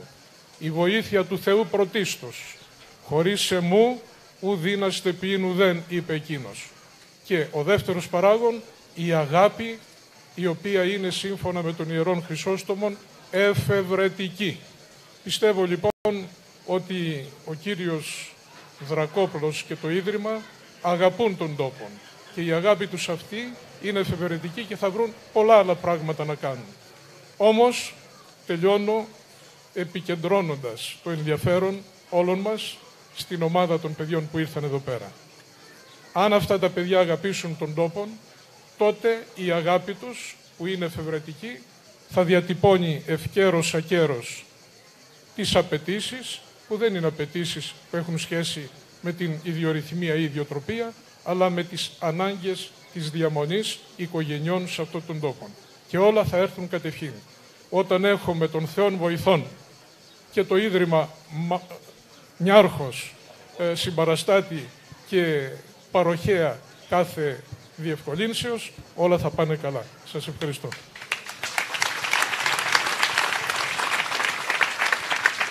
Ε, επίσης, αν μπορώ να πω, ε, ευχαριστούμε πάρα πολύ για όλα, τα, για, όλα, τα καλά λόγια, αλλά να υπενθυμίσω σε όλους με κάτι το οποίο άρχισα. Ότι αν, δεν ήταν για τον Ανάργυρο, την Ελένη, τον Χάρη, τον Παναγιώτη, τον Τάσο, δεν θα ήμασταν ούτε εμείς εδώ, πέρα. Και να, να μην το ξεχνάμε, γιατί πάντα, πάντα χρειάζεται η ομάδα που θα μπει στην πρώτη γραμμή και επομένως και εμείς τους ευχαριστούμε, γιατί χάρη σε αυτούς είμαστε και εμείς εδώ πέρα.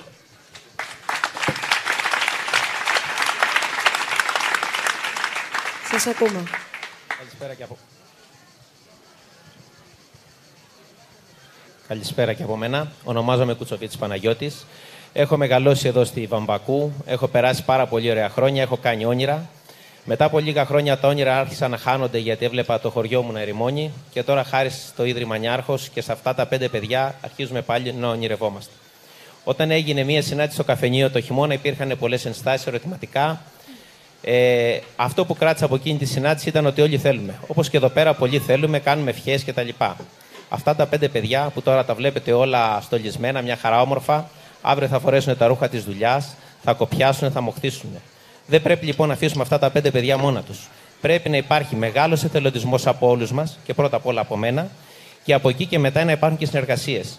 Ωραία τους χειροκροτούμε και είναι ένα θάρρος που τους δίνουμε. Αλλά αύριο πρέπει να βοηθήσουμε τουλάχιστον η μισή τουλάχιστον πιο πολλοί, πιο λίγοι, θέλουν μία βοήθεια. Και αυτό το λέω για όλους τους πατριώτες και τους μη πατριώτες.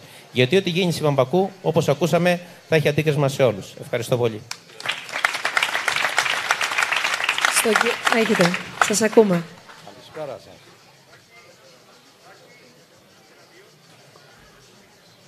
Ναι, καλησπέρα σας. Λέγομαι Σωτήρης Μπότσιος και είμαι ο διοικητής του νοσοκομείου. Έμεινα να μιλήσω για το τέλος, όχι για να κάνω εντύπωση, αλλά για να μπορώ να μιλήσω και να καλύψω τη συγκίνησή μου. Και το λέω αυτό διότι ήταν ένα όραμα και ένα στόχος το καινούριο νοσοκομείο της Σπάρτης, που το ζεσταίναμε στις καρδιές μας κάποιοι λίγοι, εδώ και δύο-δυόμιση χρόνια περίπου. Ε, στην αρχή υπήρχαν εκείνοι που το θεώρησαν ουτοπία, Ήρθανε όμως έτσι τα πράγματα που το όνειρό μας παίρνει σάρκα και οστά. Θέλω να ευχαριστήσω θερμότατα το Ίδρυμα Σταύρος Νιάρχος. Προσωπικά τον κύριο Δρακόπουλο. Θα μου επιτρέψουν όμως το Γιάννη του Ζερβάκη και το Θοδωρή το Μαραβέλια επίσης για τη συμβολή τους σε όλο αυτό το όνειρο το οποίο πάει να γίνει πράξη. Και να κλείσω λέγοντας, απευθυνόμενος στα παιδιά με τις μπλε μπλούζες, παιδιά απάνω του. Με ένα όραμα ξεκινήσαμε κι εμείς, με μία ουτοπία γιατί είμαστε ρεαλιστές. Ευχαριστούμε θερμά. Σας ευχαριστούμε πολύ. Κάποιος άλλος, κάποια άλλη, κυρία, κύριος. Από όσο βλέπω νομίζω, ένα χέρι βλέπω εκεί, ναι. Έχετε μικρόφωνο, δεν ξέρω, δεν σας βλέπω, όχι. Μισό λεπτάκι να σας φέρουν το μικρόφωνο. Να πω ένα, ένα γρήγορο μέχρι να γίνει και ερώτηση ότι όσο, όσο ακούμε για, τις, για, τις, για, για την μπλε ομάδα και τις μπλε φανέλες, ακούει κανείς τε, τελευταίο χρόνο για τα κίτρινα γυλαίκα, τα οποία είναι βασικά μια επανάσταση εναντίον, εναντίον του κατεστημένου.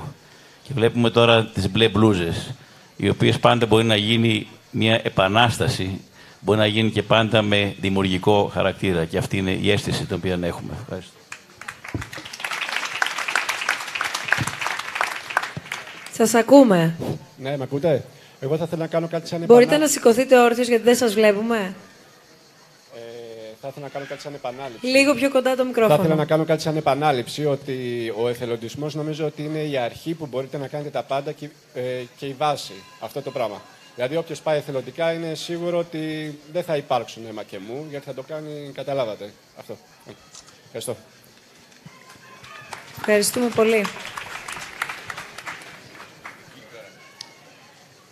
Ορίστε. Τι περιμένετε εσείς μετά από τη σημερινή μέρα; Με αυτό εγώ προτιμώ να κλείσουμε και αμέσως μετά η λυρική. Να μην ακούσουμε το μήνυμα των παιδιών. Εγώ λέω να μας αφήσετε ήσυχους, κυρία Μπουσδούκου, να ηρεμήσουμε λίγο, γιατί Ελένη;